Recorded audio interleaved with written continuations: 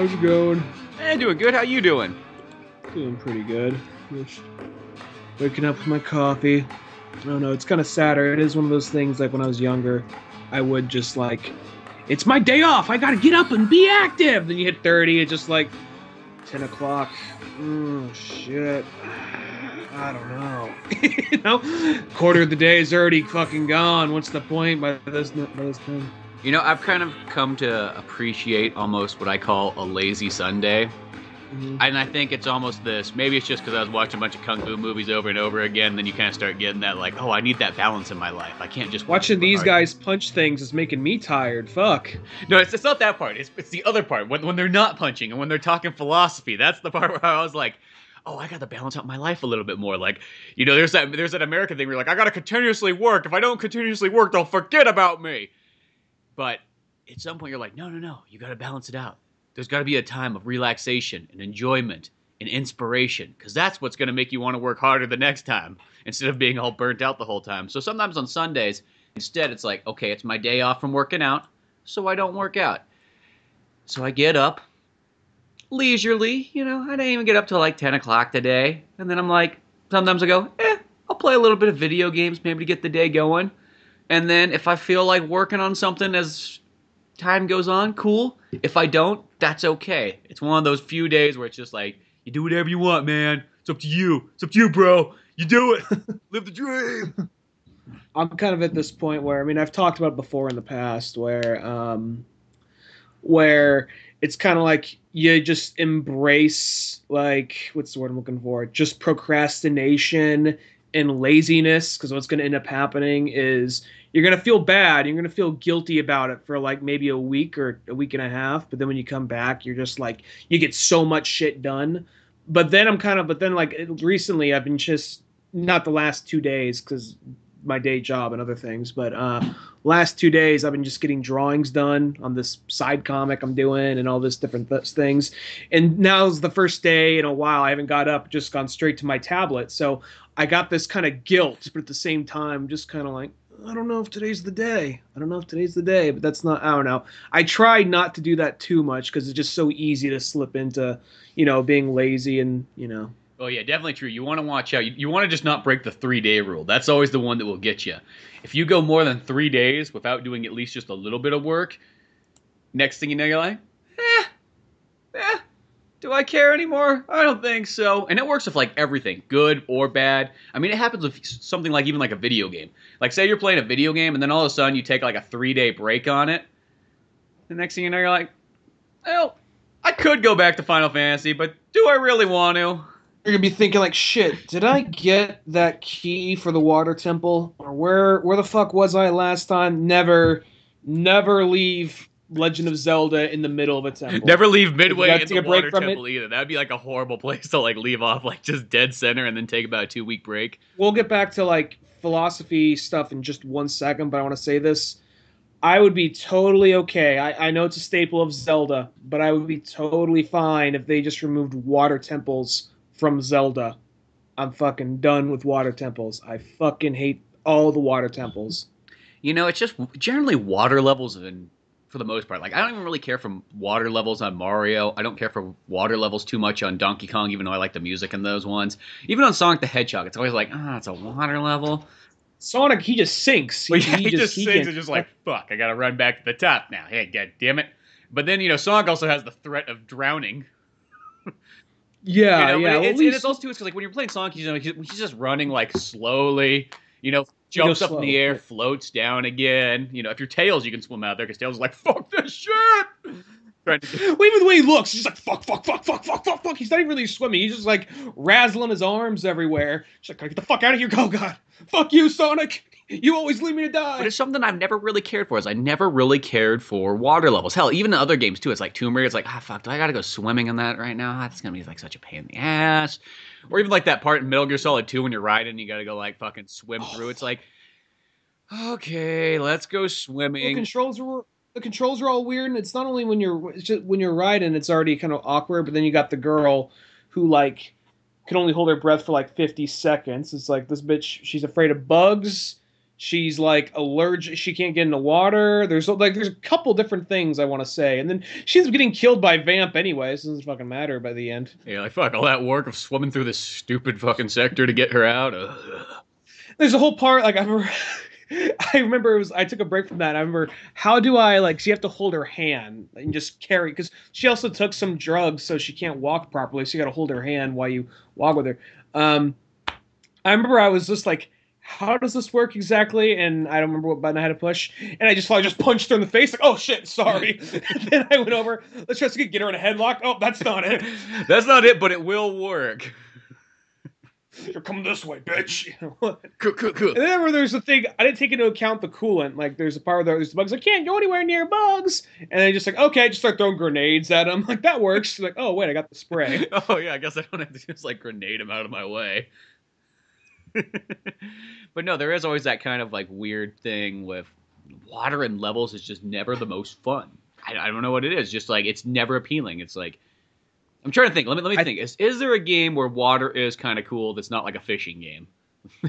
I mean, uh, well, I mean, I, I think that you know uh, the the the the side scrolling Mario water's all right. 3D Mario. I think once you get the 3D shit, you, you think it would almost you wouldn't really matter so much because it's just you're just kind of going through like 3D space technically when you're in a game. So you think it'd be oh, it's almost kind of like you know like flying to a certain extent in the context of the game, but you just you go by so much slower and there's usually a time limit on how long you could be in the water. so I think it's just kind of like, and I'm just saying the basics here, but I think it's just like that weird combination just makes it be like, oh wow, this should be fun, but it I think if anything, it's because it goes slower. I think that more than anything else, kind of could throw a wrench in the gears right there, and you're just like, "Fuck, I gotta go so slow through this." I don't think it's necessarily like the the air. The air is an element, but I think it's just the slower, and then sometimes not knowing where you're supposed to be going because everything starts to look the same underwater. And then Mhm. all those little factors like that, but I don't know. I'm trying. To, I'm I'm literally trying to think of a game in my head that's like, oh man, you know what? You know what? Water level is fucking amazing.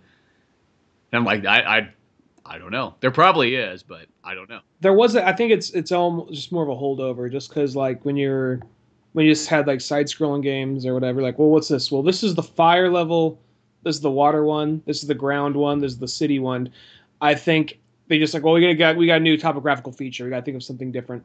And I think now we're they're at that point where it's just like uh, some of that shit doesn't hold over as well. It's not as fun now. Just I mean you can still have all these different elements, but I think it's just the water aspect is just so boring by this point, and nobody. I, does anybody ever really like, unless it's like you know a water themed game? Do you know anybody who like looks forward to the water level? No, that's what I mean. Like I've never met anybody. It's always kind of like, ah, it's the swimmy levels. I got to deal with this crap, you know. And if you see Mario Brothers merchandise, how often do you see the squid or that stupid looking fish? It's if it is a bad guy, it's usually like a Koopa or Goomba or some shit like that. Because you know, you think about even a Mar- I was thinking about the latest Mario game. Like they even solved it. Like if there's a water level, it's like you don't go swimming necessarily in the water. You ride like this fucking God. What the heck is he? You, you ride this creature across, and he's fucking going there. And if you're going on top of the water, I don't count that as really a water level. If you're fucking got like a jet ski going across there, it's not the same because that's fun. But what is it? Is it the dolphin thing? Is it it's one of not a dolphin. It's just kind of like kind of Stingray. no. It's not a stingray. That's in um. He rides a stingray in one of them, one of the newer ones, doesn't he? yeah, that's not in uh. Mar- I was thinking of Mario 3D World. No, Oh. it's God. It's like some kind of fucking retarded looking like. Looks like a nice fellow, but you know you could tell he's missing something up the stairs. Because he's kind of like, "Come on, Mario, jump on my back." It's okay if you come on it. I'm fine with that. Uh, it's like, oh, whoa, what the heck? Uh, are you sure you want to ride this, Mario? Uh, we're going further and further away from the shore. What's going on here? oh, I know a special way. I got a cave outside there. You like those? Oh, we can go back to the fucking shore. It, it's fine. We don't have to. Oh, there's, there's plenty of spaces back at the cave. you don't need that, Mario. I, I'm scared to go out there. Uh, one time a boo raped me. I don't want that to happen again with something else. Is it like a dolphin? Because if it's a dolphin, it's reason to worry. Yeah, no, yeah, there is reason to worry, but it's not a dolphin. It's kind of like a, I don't know, kind of. I, I can picture what it kind of looks like in my head, but I'm totally like space now at the same time. It's got like four I'll legs, say and this tail, regarding- and a big back and a head like a dragon. So it's kind of like a Loch Ness monster kind of thing. I guess, but I think it's furry too. I'm not too sure. I'm, I'm kind of making stuff up now. Jesus, this is like I don't know. it shows how behind times. I used to be on top of like all the Mario stuff coming out. Now I'm just like, what the fuck's the new thing? Um, no, there's like a uh, God, what was it? We'll we'll get we'll get back on Mario stuff in a second, but like like uh, dolphins are one of those things for a while. I'm like, how could anybody want to kill a dolphin? Dolphins are like so fucking cool. They're so smart. I've heard multiple situations and stories where they save people who are getting attacked by sharks because they apparently got this side of their brain that naturally wants to help something that's kind of um, the underdog. And I was like, those are some of the coolest fucking animals. What's people problem? What's their problem with dolphins? And I found out, oh, they're serial rapists. I didn't fucking know that. And that was just immediately one of those things where it's just kind of like, look, I'm not gonna go on. I'm not gonna go looking to harpoon one, but I kind of I'm a little apprehensive now to jump to their defense on everything. Just like they were saving that guy from the shark for later. Yeah, exactly. Like, That's my bitch. They're like, Mr. Hirohito, like, we're like, oh, thank you, Dolphin, you saved me so well. It's like, yes, but no, we get to serial rape you and gangbang you. Well, it's like, well, it's that or you turn to shark shit. Your choice. we can throw you back out there for sharks. oh, There's that. What was that? There's that line, and it's always sunny in Philadelphia. Like, it's a choice. It's always a choice, but she'll she'll go. She'll agree to it just for the implied implication. well, what do you mean? You know, the implication. Like raises his eyebrows. I, I don't know what you're implying. What do you mean? But no, that's kind of how it is. Yeah, it's like the Dolphins up there. They're like, yeah, they got to have one bad qualm, I guess. Yeah, I mean they're they're they're too smart and too cool for everything else, and now it's just it has you kind of worried. saying now. like that episode of King of the Hill where like Hank Hill gets like raped by the dolphin. it always goes to that if- whenever somebody whether it be a conversation i'm in or i listen to a podcast and they bring up dolphin rape they always bring that episode of king of the hill Because it's just that one where it's like he finally gets comfortable. It's like I didn't want to do this. it brought it to the light It was just like, oh, this dolphin's kind of nice, and then next thing you know. But I don't know. Well, welcome to the Old Man Orange podcast, the place where we talk about Mario, dolphin rape, and much more. I'm Spencer Yeah. Scott Holmes. i'm ryan Yeah, I thought you people might want to know that just in case. Just in case if you wondered what you just got thrown into.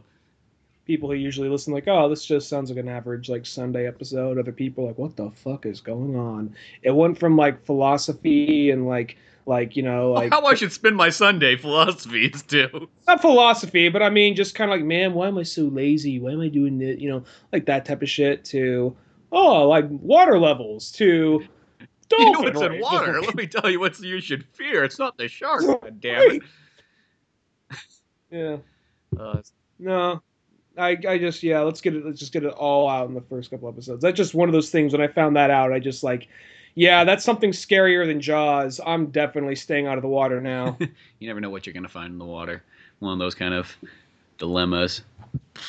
Yeah, You know, I played this game actually. I found it on um it was on Wii U. I think it just came out. And I just kind of was like flipping through. I'm like, I wonder what's the last Wii U games they're gonna have on here. You know, whatever. Bored on a the Sunday. last. Uh, you know, sitting there looking. And there's a game called Vaccine. I'm like, well, what the fuck is that? That looks kind of interesting. Let's just click on that. And I look at it and I go, oh fuck, oh fuck, someone's done it. Somebody finally fucking did it. Look at, look at, look at, they did it. I'm like, there's nobody around me. I'm like pointing out, like I'm seeing something for the first time. But I was like, oh, dude, sick. Somebody actually made an old school fucking PlayStation style survival horror, Resident Evil, you know, camera angles, tank controls, all the grand glory old stuff, but just in a, you know, it's a new game. I'm like, dude, finally. I've, I've been waiting for that forever because everybody's always making 8 bit games. Everybody's making 16 bit games. You know, sometimes they make the kind of special, like 32 bit side scroller games, but nobody's really gone back and said, hey, let's make the blocky polygon games again. Yeah, I think there's one of those things like there's nostalgia to it, but I think that it's one of those for whatever reason like 8-bit stuff and 16-bit stuff is more visually appealing than just blocky stuff whatever No, I totally agree there. I definitely, yeah, that stuff holds up better. I think gameplay wise works well. I think even in another like 20 plus years, people will still look fondly upon it, even if they're younger generations. Where Mm-hmm. that is kind of like the the 3D realm at the beginning was kind of like that, you know, some games work great with it, but other times it was kind of like, well, that was a time and a place. If you were there, you probably loved the hell out of it. But if you look back on it, you're like, what the fuck is this? This is like the equivalent I think it's of like you know two cavemen like smacking like a club against the wall for like music.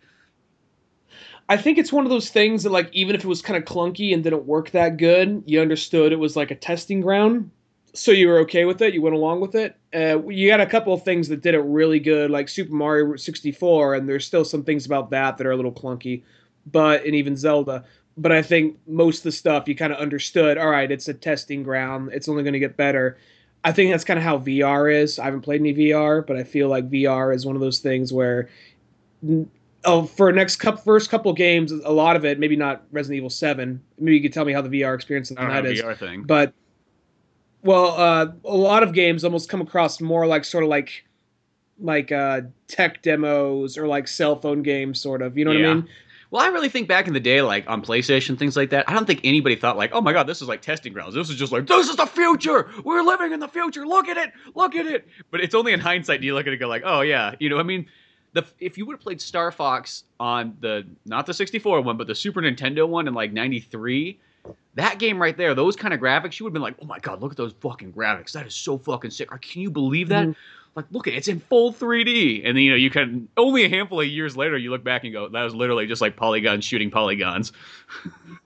Yeah, I mean, like it's one of those things. Like, not that kids like I understand. It's not like eight year old kids like I understand. It's an industry. They're working up to something. Not like that. I mean, to the level of like it's brand new. You accept it because I, I think you still knew, even though it was something new and shiny, it had limitations. Well, because it's one of those ones like I remember like Sega CD when I was a kid. That was literally like as real as you could get. I mean, that felt like oh my god, you were literally in the movie. And you look back on that, and you're like, that is like a 246 resolution game that is really just a chopped up episode of a Power Rangers show that you're just pressing buttons for it to advance. Just thinking that one. well, like all they would do is if you like fucked up pushing the buttons, then have like abrupt cut to whoever falling down, getting kicked by a putty, going, "Oh no, my chest!" you know, but for some reason, like at that time period when that's like the future of technology, and you're like six years old, it's like the most amazing thing known to mankind. Well, I think it's the idea it's a video game, and that's the stuff that's on the TV when I get home from school.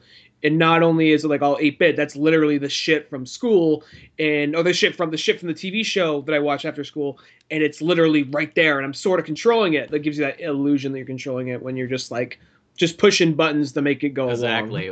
But going back to this vaccine one, like this is one of these kind of games. Like there's no way if you did not like, and I mean you got to like like 1996 survival horror, not like Resident Evil two or three maybe. Like no no no, go back, go back real far. Well maybe two would be fine, but it is definitely made for like that person. It's like, do you remember like the mid 90s when you just first discovered like Alone in the Dark and Resident Evil and maybe Silent Hill was coming out along the way, but maybe not that far yet.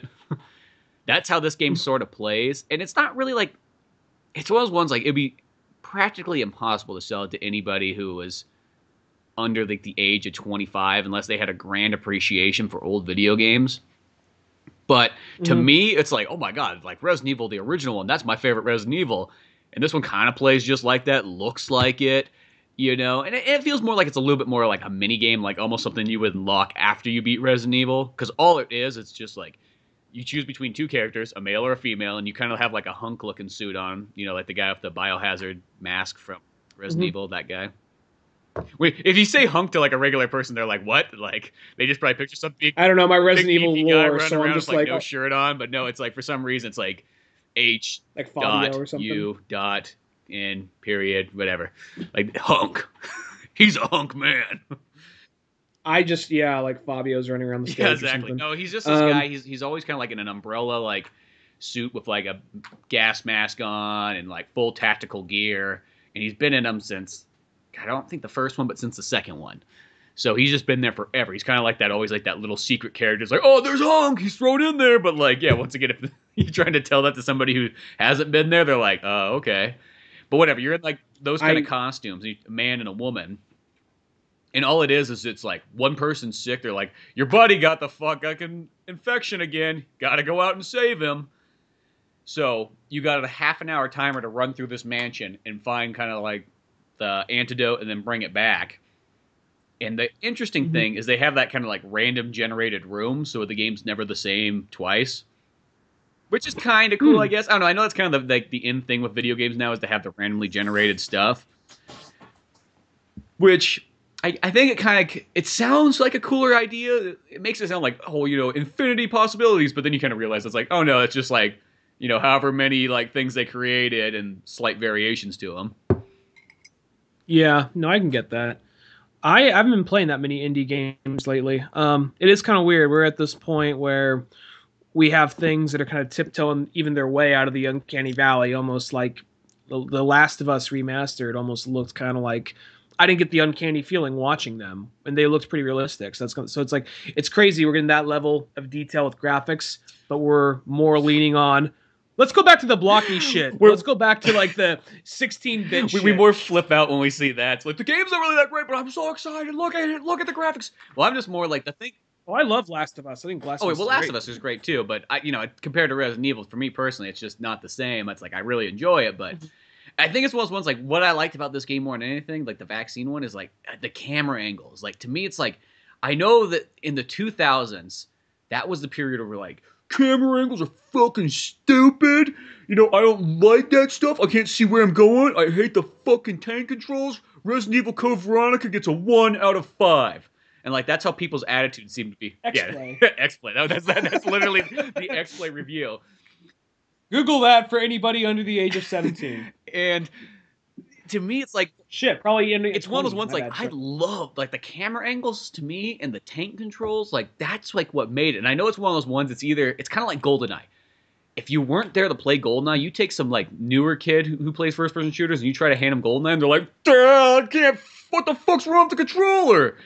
And I pick it up, and I'm like, "Dude, what do you mean? It's like this is how this is how it was. Like I I go back to it instantaneously. I can play Halo all day long. I can go play GoldenEye. It's not like I have a problem whatsoever. I don't know what it is. It's just I instantly click back into that style. Same with kind of like Resident Evil. But just, or Uh, you go ahead. Yeah, you go ahead. You go ahead. Oh, I was just gonna say, okay, this vaccine one. So you got this kind of thing, and you're just trying to run out there, get the. It's kind of as I said, it's kind of simple. It's more like this should be almost like an unlocked mini game at the end of Resident. This should be like an unlocked mini game at the end of Resident Evil Seven that actually is not there. That kind of made me angry. It was kind of like you beat the game, and like instead of going like, "Hey, you got the new mercenaries mode," it's like, "Hey, you want to spend some more money? We got DLC coming out later," and you're like, "Oh, thanks." That's not. I, I would. I would love a mercenary mode. Yeah, yeah. We're not gonna give that to you, Capcom. Do you actually end up getting uh in, in Resident Evil 7? Because I don't really know anything about. I mean, I know a little bit about it, but I mean, I haven't really. I've seen like I watched a little bit. Game Grumps play the first like uh 20 or 30 minutes of the Mhm. game. Uh, do you eventually? I know you get a gun. Do you get like a machine gun or a shotgun or like like big Resident Evil type weapons, or does it always stay kind of like small like? No, you get kind of everything. That's what made me happy. It's like you get the pistol, you get the other pistol, you get the shotgun, you get the combat shotgun, you get the machine gun, you get the uh, flamethrower, which is kind of cool because you like build it yourself, so it looks all like rugged. You get the magnum. Do you have a stub the whole time, or do you actually get a new hand, or what happens there? No, yeah, you, you always else. you like repair your hand yourself, and then you just always have it. And then at some points too, some enemies can chop off your leg, and then you gotta grab your like foot and then fucking like sew it back on really quickly. Are you I kid you me? not. When that first happened to me, it's like, what the fuck? Are you kidding me? I got to do this, and only realistically, you could probably play through that game multiple times and never see that happen. But there's a couple moments where it's like, if you just kind of dilly dally fighting something, it can do that to you. just sew your leg back on. Not a big deal. Let's just get this going. It should be funny if you just took a big thing like duct tape and roll. Does it? Is, do they? Do they come up with some kind of like pseudoscience bullshit? Like here's uh, some Umbrella Corp like stuff you inject yourself. It heals it and holds it back together. Or is it literally like, well, well, I got a, I got some stitches and needles. Let's go. I can't remember. You you got to use you just use like a health kit, and then God, I don't know. Yeah, you just gotta put it together. And I can't remember if he wraps it or if he staples it. He might staple it, I think. Jeez. but yeah, it's just kind of weird like that. It's kind of funny in that vaccine one because that game's totally like, hey, we love Resident Evil so much. You know, when you run through the mansion, there's like there's like a plant there. It kind of looks just like you know the herbs, The yellow herb. and you go to talk Yeah. to it, and it goes, hey, it's just a plant. What do you think? You're gonna take that with you or something? And then there's other parts too. You'll see like a chest, and you talk to the chest, and it's like, man, this would be a great place to store some stuff. Well, also like they have like just small comments. They're really only like towards Resident Evil things. Like when you talk, you know, they'll always be like the picture. It's like on the wall. This, you know, here's you know, Spencer, the man who built the mansion. He has a like an ugly look on his face. Look at there's a dead girl on the side. And your person just looking, he's like, I don't like that furniture. just like just, just some small comments like that. We're like, yeah, those photos look weird. No, I can see that. Like, it is kind of weird when you reach that point where, uh, like, I'm sure Resident Evil 7's fun. I bet you probably, bet you, you've, I think if I had to guess the way you've talked about it, you probably like 7 more than you like this.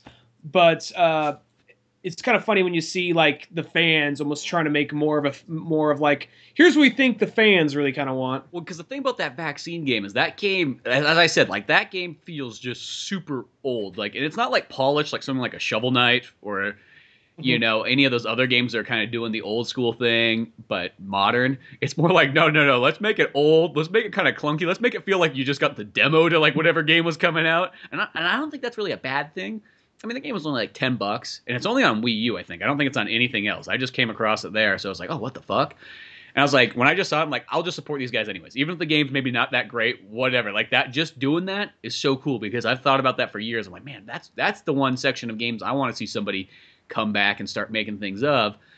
And so to do that and have the camera angles and it plays like Resident Evil, it doesn't even have the 180 turn. So it's like literally like 96 Resident Evil, or I guess two didn't have the 180 turn in it either. But so it's like really far back there. You know, where some other games, you know, they'd come out and they go like, okay, well, we're gonna do it like Resident Evil with like camera angles, you know, and tank controls, but it's gonna be like super dialed in, like and play is like the best way you could possibly imagine. It's like, no, no, no, let's just have it play kind of like, kind of like how you expect if you first got your PlayStation. It's probably doing something like uh, this is more of just a test. Like they're probably going to try and improve upon it their next uh, game, assuming the company's still around and all that. Uh, well, the weird thing too, is since it's got that random thing in it, it's like it's one of those games where it c- it can be kind of frustrating because all it has to do is like, you know, you, you never really know which direction going. Every, every single time it's different. But I think for a survival horror, that's kind of cool in a sense, since it's kind of like it's not like it's a big game. You know what I mean? Like you're only playing it for like ten minutes at a time. But the downfall is you can have these like there's like these crawler enemies that kind of look like lickers, but they do like ridiculous amounts of damage to you. So the second you see one of those guys, you're kind of like, well, fuck. Especially if there's like two of them for some reason, if that randomly generates. What's the um, murder game that we talked about some episodes back? It was a downloadable. Oh, you mean um, Party Hard? yeah, yeah, That- I got that. Did you get that? I got it. Yeah, yeah, Oh I my got it. God. See, nobody like that was one of those games that came out, and that was another one where I just I read the description. I'm like, I don't care if this game fucking sucks. Whatever. I want to give this guy money for literally just creating something like this. That is so fucking amazing. And that game kind of came and just got. Nobody ever talked about it. It wasn't like Hotline Miami where people still look fondly upon it and you know like that. It was just like this game kind of came out and dipped down and like nobody got it except for anybody I tell. How do you like But that? that was like also I, I liked it. It was one of those. I mean, I didn't finish it. I gotta play it a little more. Um, but it's like what you're saying, one of those randomly generated games. And I, I, I the reason I took a break from it is because I'd find myself just about to kill the last person or one of the last people, and then like the cops show up or something stupid happens, like motherfucker, and I was just so close. But um, no, I thought that game was fun. I liked it. Um, but it definitely does seem kind of like uh, it almost seems more like what they're trying to do is we're going to do this old 8-bit 16-bit kind of thing but we're going to make it ultra violent so we're going to hark back to your childhood but we're going to do it make it a really kind of like fucked up stuff they didn't really have back then i mean there was a couple things if you look long and hard enough for like you know snes and genesis but more of almost making what seemed like a playstation like almost like a controversial playstation Mhm. title for the super nintendo No, no, no, and that's cool. I, I like that a lot because that's like what Hotline Miami was, and um, there was also the Mother Russia Must Bleed, like those games, all like that. It's just like I love that. Like, just let's make the darkest, most violent game, but like it'll have a cool old school look. And as I said, that, those games almost appeal to me almost more than a lot of times modern games because modern games almost come to the point where it's like, eh, I've seen that before. But if you t- put a twist on something back in the day that I really liked, make it play like as extremely fluid as possible you know, and then even add some like extreme violence and some dark story stuff. Cool, go ahead. I'm all down for that. i got a sincere question hmm Are we gonna be like two crusty old fucks on a porch rocking back and forth with like DSs? Like not not the new whiz bang DSs. No, and if the we old, do the old if we gray do- ones. The old gray, or if they if they are if they are the new whiz bang DSs, all we do is just play the older games, never anything new. Are we gonna be those guys? Well, I will say it like you know I've thought about before, just like hypothetically, if one day you just said like, you know what, I'm not really gonna play any newer games anymore, would you be content with just sticking with all the classics that you have? Like if you got dropped off on an island, they're like, "Here you go, son. Here's a Sega Genesis, a Super Nintendo, and you know uh, Atari Lynx." Oh, thanks. Uh, last one. Okay, I'll, I'll make do with it. But all right. Um, I Atari. I it took me a second. I was I had to jog my memory. Like, does he mean a, a t- Oh fuck! The L Y N X. The the the Atari handheld that was in color that I remember was like at the time was like, oh fuck, look at that thing. I don't think I've even really touched one. I touched a broken one once. I found one at the flea market. and I was like, if this wasn't broken, I'd buy it. That thing you could probably kill someone if you just hit him over the head with it. It was just like top this shit Game Gear. Yeah, suck the Atari dick. I remember my friend of mine had that, and the uh, cartridges were even like thinner. They're almost like floppy disks to a certain extent. Yeah, they were really weird looking. They were just super thin. But he had a he had like an all around. I remember all the games he had, but he had like an all around sports game on there. And there's one like hacky sack.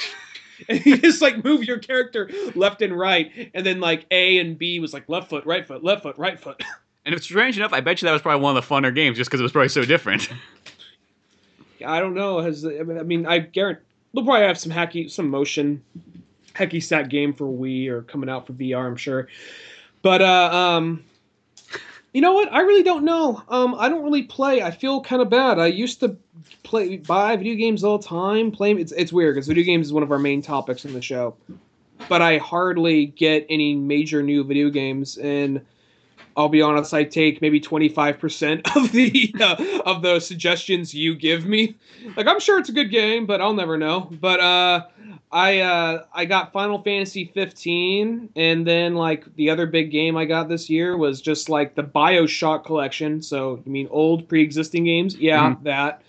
Um yeah, I mean, I'm almost kind of the point like what's the big game coming out? Like like uh Red Dead Redemption 2 definitely that's going to be a buy. Yeah, that, that's a must because that's once again, West. We said it before, but like Western games, there's like you could probably count them all on your hands. How many there is? They just have not made that many, and and that's like goes back 30 years. now the thing is, I feel like I'm.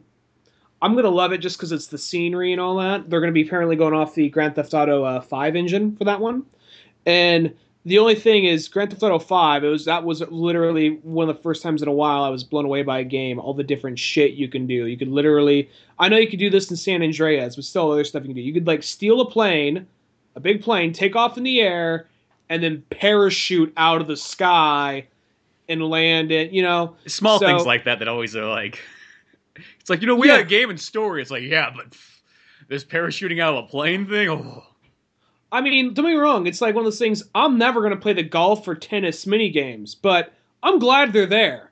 I think that's just cool stuff. I feel kind of bad. I have that game sitting on my PS4, and I still have yet to play it. I still have How the not... fuck are we friends? I don't know. Everybody always looks at me like, dude, what the fuck? Like, you haven't played Grand Theft Auto yet? Like, you always got Grand Theft Auto. You got the Grand Theft Auto 3. You got the Vice City. You got the San Andreas. You got the 4 even. And you, you, you got Chinatown Wars. Who the fuck got Chinatown Wars? I'm like, well, it's kind of cool. You could sell drugs in the game. I thought that was the best part of it. I mean, this one you could literally, I'm not sure, because I, I'll be honest, whenever I played, I was like one of those delinquents where whenever you played Grand Theft Auto, you just run into you just like it happened a few times. Like whenever I played it at a friend's house, or whenever my brother had it and I'd play it, I would just go do stupid shit until I died. And this is the first time, and you know, I do a few of the missions, but then I would just get sidetracked along the way. I remember when I first played San Andreas, it was just one thing after another. Like I was like, oh, okay, hop on this bike and go to your friend's house, you know, to go meet up with big uh the, the big dude, I remember his name. Mm-hmm. But um getting over there and then something happened. I bumped into somebody or something happened. The cop saw me. The cop chases me. I kill the cop. I steal the cop car. One thing leads to another. I got five stars. I'm in the middle of the mountains, you know, like way off course. Like I just wanted to go to my friend's house. My mom just died. well, that's always kind of how it happens. And I think that's that thing where you almost need to, like a lot of things in life, you just gotta almost get that out of your system because then after a while you're like, okay, now I'm, I'm now I'm ready for story mode. Okay, I've, I've done enough messing around. Time to like start story moding it up. when I was younger, it would just happen that way. Though it was literally, it was like that um, Scorsese movie After Hours, where it's just like one thing leads to another. The guy just he just went to go have a one night stand with this girl. Everything went bad. He went to go borrow, a, make a phone call left his keys over there, so get his keys, but someone he bumped w- walked into somebody starting to fight. You know, just one bad thing after another. Next, you know, he has this whole like neighborhood chasing after him. that was kind of like me playing Grand Theft Auto for a while. Then I don't know. Uh, this one I just managed to stay on course, and um, God, five. I, I remember I talked about it like what was it, two, three years, maybe four years ago by this point. Jesus about how you had four years to play this fucking game. I know it's so everybody like has to like hassle me about it. And as I said, like I bought it. At least it's there. At least it's waiting for me on PS4. So one of these days, I think it's also too because when you know a game's kind of like a big game, it's not mm-hmm. like something that you're like, you know, I'm gonna put this game in, and play it for a couple hours, you know, and finish it in about three days. It's like, oh well, that's gonna be like a month worth of my time. I know it, if not like, longer. It kind of says a lot about the game when like, um, because at the time I temporarily moved in with my folks before I moved uh, to where I am now. And there's one day where I was just playing the game. My dad walked in and he was just checking the thing out and he was just looking at it like, "What movie is this?" Like, is that a fucking video game? And like, yeah, because you know it, was, it, was, it wasn't like it wasn't a cutscene. It was actually the, the gameplay footage of driving over. It's like Jesus Christ. He was like almost blown away. Last time he saw it, it was like Mario. You know? yes, it was, it was a huge step for him. Mm-hmm. But and then um, there's the part where like Trevor and like um, Trevor and uh, and I'm forgetting the other dude's name. It's Trevor, Michael, and God, I don't remember the, I don't remember the black dude's name, but that dude. There's a point where he and Trevor are getting into it, and uh, it's like he's like they swear in this shit now. I'm like yeah, Dad, they've they swear for a while in these things. Like oh wow, you know, it was just one of those things. Like just the first glance at a while. Yeah, just one of those ones, and it's just that kind of happens. But yeah, at some point I gotta sit down and play that. But yeah, this year it's like you know there's a there's a handful of these games that like I buy, I kind of will like look forward to. Like you know, obviously Zelda's coming out, so that's gonna be amazing. You know, then they got the the new Mass Effect. That one I'm definitely looking forward to, and of course it comes out like only like a month after Zelda, if not even that. Mm-hmm. And then yeah, definitely Red Dead, but oh, there's a lot of games. It's like there's kind of like that Horizon Zero Dawn. I think that comes out next week, and it's like it looks cool. Don't get me wrong, but it just looks like well, you almost like the older you get, the more like picky and choosy you got to be about like what you take in. It's like you well, know you only got so much time, so you got to pick the ones you want the most. Well, that says a lot because I, I mean Mario Brothers is probably one of my favorite uh, franchises, and I have not bought a Mario game in a long time. I didn't. I did not get a Wii U. But you got the and, last one for 3DS, didn't you? Though you're the only person I know that got that one uh, Mario Land or no? Didn't you get Mario uh, New Super Mario Brothers two? Oh, I did. Yeah, I did. Uh, never finished it, but yeah, uh, that that was just one of those things. Like, oh, I'll get it, you know. And then it was just like, oh, it's more New Super Mario Brothers. Um, it was it was fun, but though it was kind of like, what's what's this? What's the what's the gimmick same of this same one? old. yeah. He loves money. Mario lucks some fucking money. That's the gimmick. He got a Jewish friend recently, and it all changed. it's just like a new like just a very stereo like here's the third mario brother you know? They're their half brother from like the Julio. yeah. It doesn't even have like a very clever name. It's just like the, the the hat is literally instead of like a j it's just like the star of david. Exactly. It's just like a money symbol. Oh. Careful but, if we say if we keep saying shit like that we're gonna end up like on an alt right like favorite podcast. well, they were, except for they were like praising that Mario guy, and he's Italian.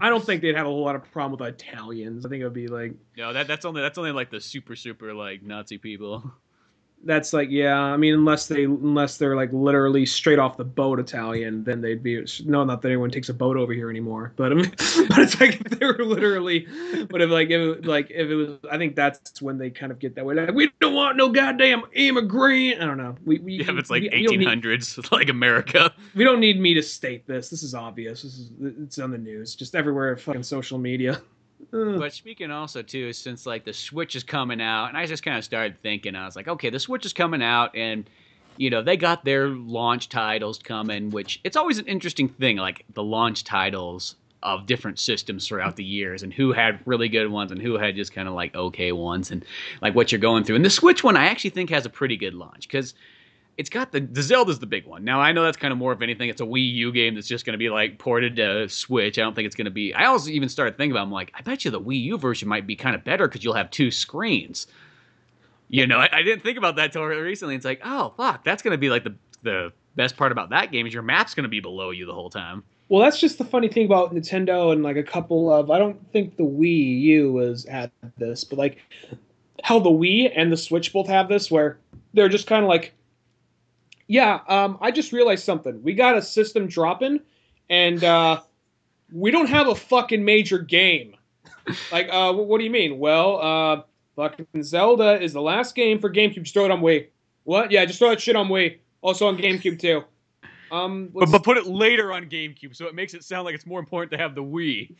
Yeah, yeah, just like um, I forgot about this, but the it didn't come out on GameCube until like a handful of months later or something like that.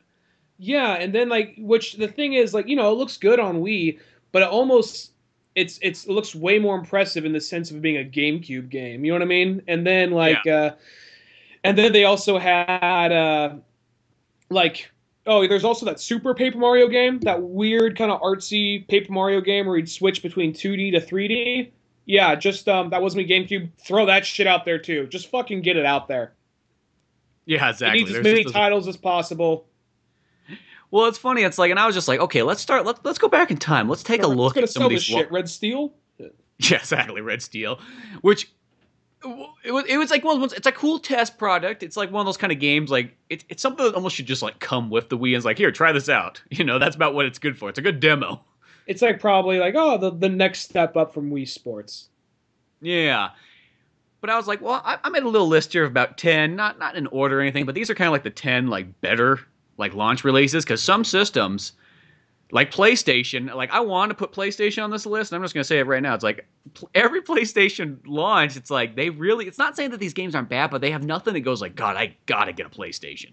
I've so fucking got to get one today. Like every single time they have a system, it's like you know they got stuff that like yeah, if you, if you had it, yeah, I'm not saying the game wouldn't be fun, but it's not like you know, they never had. It's not like Tomb Raider came out like day one. It's not like Twisted Metal came out day one. It's not like Resident Evil or Final Fantasy or anything that's kind of like PlayStation known for. Even Crash Bandicoot, they never have anything at like launch. You know, I look at like PlayStation One. I mean, like what you had Battle Arena Toshinden. You had fucking Ridge Racer One, which maybe at that time might have been pretty sweet, more than you'd think. But yeah, for the most part, it's like Rayman, Gex. Number two, I remember you had the game where it was. uh three games that came out. One was uh, Tekken Tag, which it may sound big, but it was really just kind of like just throw a bunch of Tekken characters in there. There's no real major story or anything to it. And then they had um, the fireworks game, and then a very random game. I don't remember the name of this game, but tell me if you remember this. There was the game where it was like futuristic, and I think this is a, a launch release. Maybe I'm wrong here there were people like in these sort of robot suits. It was kind of weird. You have a couple of characters like they put their hands together to be like a wheel. It almost looks kind of like F Zero to be going on the side of buildings and all that. And a couple of the characters, they even did a thing where it's just like, look, it's oh, it was um, oh fuck, I know that Extreme G maybe that's what it was because you had a couple characters. I remember like they'd be all armored, but then it'd be a chick like in a fucking thong or something like that. Like, huh, that doesn't really go together if you're going a couple. And they're like motorcycles, right? Yeah, so it'd be like of? you're going a couple thousand miles an hour on the side of the building. Maybe you should be in a full robot suit. I don't know. Okay, whatever. Yeah, the very first. I don't know if that was the launch release one, but I remember Extreme G3 was a launch release for GameCube because that's the one I remember playing. Oh, really? That went to GameCube? Yeah, so it was one of it was kind of like the other F Zero, I guess, but not nearly as cool as F Zero mm-hmm. You know, but well, it's like the one big game I remember. It's not really that big of a game, but I guess to like a Final Fantasy fan, it was big on I'm PS2. Was like sure they had the, the bouncer. Bouncer, I forgot about that shit. It was kind of like yeah, it was like the square like brawler. And more than anything, it was just like, hey, here's Square showing off some sick graphics and everything like that. And it's not that it was really a bad game, but it was just kind of like one of those ones like you know, you could beat it literally in one night. It's not even two players, even though there's like multiple characters in the game. It's you know, it's just got a lot of cutscenes in it, and once again, it's fun. It's a cool game, but It totally is like that. Like, hey, get, get ready for Final Fantasy X. This is gonna hold you over. Oh, it ain't Extreme G. That was for uh, Extreme G was for uh, GameCube. I'm thinking this thing I'm th- thinking of is exclusively. Uh, may, or maybe that was the sequel. Maybe that was the sequel. Well, because yeah, the GameCube had the thir- it was either the second or the third one that was on there. So I know I know there was one on PlayStation that was before that. I that. remember Extreme G. I just saw the cover here. I'm like, oh yeah, there's the there's the motorcycle that looked like a fucking Extreme G. I'm gonna. Pl- I'm sorry. I'm fact checking through the podcast, but I want to break this mystery down. PlayStation. That's okay. This is one of these games. Maybe somebody else had this question. You never know. 2. Is there one for PlayStation 2? It's one of those things because there was this one game. It just uh, because then they just really slutted itself up if that was the case. Yeah. Let's see here, uh, association. Da, da, da. Yeah, I think it's. I think this is. Uh, I think it might be a different one. Might be a different one here. Uh, whatever. Huh? Because that sounds like identical to like the game I'm thinking of. Maybe I might be saying the title wrong. Maybe it has a slightly different name. But I think we're I think we're thinking of the same game. Just maybe we just don't have it totally dialed in name wise. Yeah, yeah. There, it's it's it's something similar. Eventually, they stopped being robots and they were like people riding it. The one I'm thinking of, the people themselves are like vehicles. Like they're kind of laying down on their stomachs and had wheels on the side of their Yeah, almost like they had like their hands on like the wheels driving it. and like they wore masks and over and like I don't know. I remember they were really trying to make the characters look sexy and all that, but they were like in sort of it looked kind of like it looked it looked like very like early '90s like comics kind of the the, the designs of them, you know. No, I totally agree there. Yeah. And that's definitely it. But anyway, Well, here, kind of going on this list that I've looked up of just all these systems, which is just kind of interesting because you think there's kind of better ones than you would think, but it's even towards the end. It's like, fuck, I wanted to have a nice little solid ten list, and I was like, it was fucking hard. So at the very end of ten, I was like, well, fuck, here's this kind of way, and it's not really like these are the best ones in order. This is just ten in general. PlayStation wise, the only thing I I just put it on here is almost like the honorable mention is the Vita, and that sounds like the fucking weirdest one to choose. But I only say that mainly because it had fucking Uncharted, The Golden Abyss in one. That's the only system you can get it for. They never put on that Uncharted like on the collection or anything like that. And two, that's actually one of the better Uncharted games. yeah. And it's a launch release. So it's like that game right there, it's like if you got a PSP Vita day one, you had a fucking sick game to play. Hmm. And that one, like, it kind of was cool anyways because you could, like, on the PSP, you utilized like the whole thing. Like, you use the touch screen to like uncover objects. So you're like, oh fuck, I gotta spin this thing around and you know wipe the dust off of it.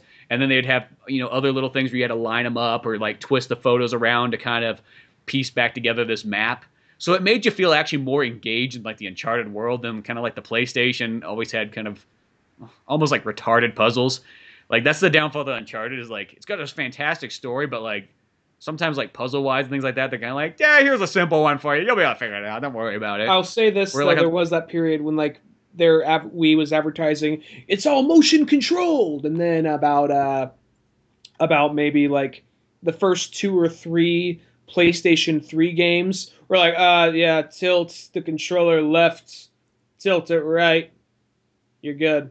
And then they just dropped that altogether, like probably a couple months in.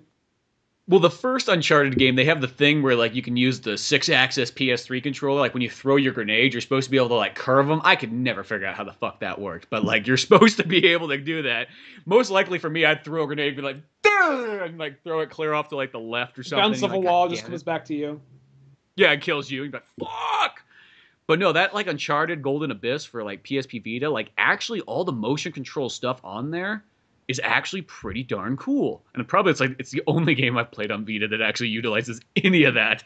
Nothing else in there uses twisting the thing around or using the little back pad things or you know touching the screen. So it had a bunch of neat little things in there to kind of bring you into the adventure. And I'll say story wise, it's not the best one. It's definitely nowhere near as good as two, but it's better than one. Probably about on par with three and four. Mm. I was actually pretty darn impressed at how cool that was, especially just to have that like in a portable thing. It's like, well, that's actually kind of cool, Mhm. and it's its own game. It's not like that because everything else for PSP Vita, not that they're not cool games, but they're kind of like, yeah, they're ports of things like Ninja Gaiden or Marvel vs. Capcom or BlazBlue. Cool stuff to have on the go. I mean, I always feel like with a handheld, that's half the stuff you want is being able to take old games you loved, you know, with you anywhere you want, right? Yeah. But there's that one, and then I just threw this one in there too because I felt like it should be in there. This is like my only like handheld section. Is the original Game Boy, and even though it really didn't have a whole lot, but you know, you got Tetris with it right away, and for some people that was like, boom, oh, that's fucking all I need. came 'Cause, you know, you always, yeah, Tetris came with the original Game Boy, Mhm. and you know, there's something like I'm one of those people like, don't get me wrong, I like Tetris, but it's never really been my favorite, and maybe that's because I was like, you know, I had choices. I had Puyo Puyo, which is my all-time favorite. You know, you had Puzzle Fighter, you had things like Bubble Bobble and Bust a Move, and you know, just all these other different like puzzle games that came out afterwards. And then you had Columns, which was always kind of like the the sad man's version of Tetris. I remember. Did you ever play Columns for Sega? No, didn't look that fun. It, it was it was literally like the game. It's not that it's like the worst game, but compared to like Is every it one of other the jewel ones? puzzle, Is it actually one of the jewel ones that like uh, you where uh, it was like blue, yellow, and red? Yeah, it has like kind of jewel things. It's not like Jewel Quest, but it has like these jewel things in it, and it has a very like old ancient Greek, and it plays classical music as you play it. It's like uh, it's literally a game made for like a sixty year old man in like 1989. Actually, you know what? I I, had that for. Game Gear. I did have that for Game. Yeah, there- there's one for Game Gear, and it's one of the ones. It's not that it's a bad game, but when you like as a kid, you're like, oh man, dude, I fucking can't wait to play some Puyo Puyo, or maybe some like Bust a Move. It's like that's so fucking hip and Japanese, and then you get this thing. It's like, yes, we're gonna put on the classical music uh, as I sit down after a hard day's work at the law office.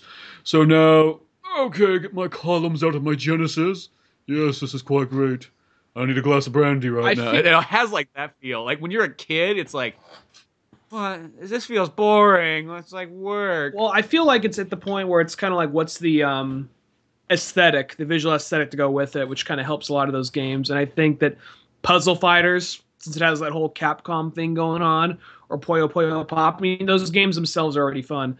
And then you had like, I remember I loved Tet- uh, Tetris 3DS because that had oh, that was a, that had a or Tetris DS. yeah, Tetris DS because that had a classic Nintendo theme. There's different ways to play the game, but each theme had a different version of like had a different like theme for Nintendo. Or like Dr. Mario, which is one of my other Yeah. favorite ones too. It's like it's got Mario fucking there. Like that's what sell. If that game happened to be just like Dr. Bob's like magic medicine, Fuck Dr. like you Bob. would be like, oh, no one gives a fuck about Dr. yeah, Bob. fuck Dr. Bob. You're like, oh, Dr. Mario. Oh, this shit's got serious. I didn't realize Mario had a PhD. I'm learning new things all the time. I literally think Mario is just going down to the Mushroom Kingdom, bringing some shit back that you can't get back in Brooklyn. grinding. He's just up. like, check this shit out, man. He's almost more like a drug dealer or a back alley, like a back alley doctor. yeah, putting these pills together. Okay, you got the red and the blue one, or the yellow and the white one. Go I remember one time, like it was me and Cisco. We were playing the living daylights out of Dr. Mario 64. Like every day, be like, "Dude, you're fucking challenging. You're going down, man. For play some fucking Dr. Mario." He's like, "Yeah, goddamn right, I'm playing some fucking Dr. Mario. Let's put a fucking DiGiorno's pizza in and get ready to play this shit." And we would like play it like the living daylights out of it, back and forth, back and forth, back and forth, to the point that I had fucking dreams of fucking pills falling down. Like I've heard about that before. People have dreams of Tetris and breaking blocks, but I was like, oh god, I have dreams of like drugs falling and me like lining them up and breaking them. I don't know what's worse. I'm just surprised he never used those medical skills to get back at Bowser. Like he just fucking, you know, just makes Bowser OD on something. Like open your mouth. What? Open your fucking mouth. And just like pours a bunch of pills down him. He gets like some opium, so Bowser's just always calm every morning. He's like, hey Mario, what's going on? He always just keeps him like in his, after he beats him. He just kind of keeps him in a sedated state where he's just kind of like the very back of his skull. He's there, but he's weeping inside. Like, how are you today, Bowser? I'm fine. That's good. Stay there. Sit, stay in your chair. Be worse too if it's like he made Bowser. It's like he's got him like locked down in a cage. He's got him like hooked on opium and stuff like that. But then like toads come up to him and like hand him like a hundred dollar coin, and they fucking go down there and just start fucking Bowser. Like, yeah, you fucking like this? How you like fuck? You destroyed my family and my house. Now I'm gonna fuck the shit out of you. I like how I was thinking it's Manchurian candidate. You just go full on hostile. it's just Mario's got him hooked on this fucking opium. You fucked the Mushroom Kingdom. Guess what's fucking you? There's just all these toads lined up outside. And here's where we get here's where we get someone in the comments saying, "Well, technically, if you read the Wikipedia article, toads have no gender. They address they address themselves as time goes on by picking attributes of various gender." Shut the fuck up. Well, they can fucking still hump the shit out of them, maybe. Like, they can that's the aggressively, they can aggressively grind. Maybe they just put a big strap on fucking dildo on and go down there and work it. Yeah, yeah. They're, they're toes. Maybe they just shove their head inside. I don't Like know. one ties the other to his crotch, just uses him as a fucking strap.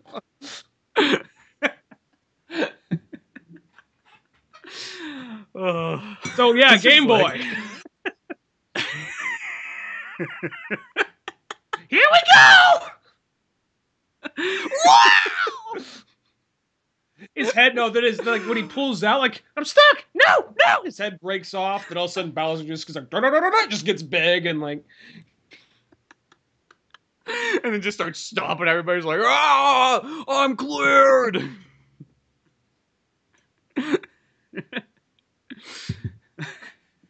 just grabs the other one, just fucking bites its head off, gets even bigger.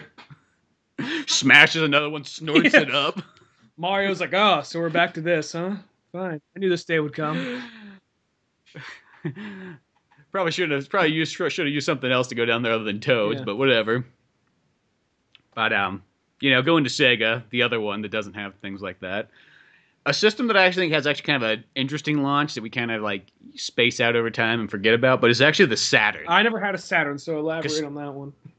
Well, the Saturn, I didn't have one when it came out. I, I could only dream at those times, but I got one eventually later on.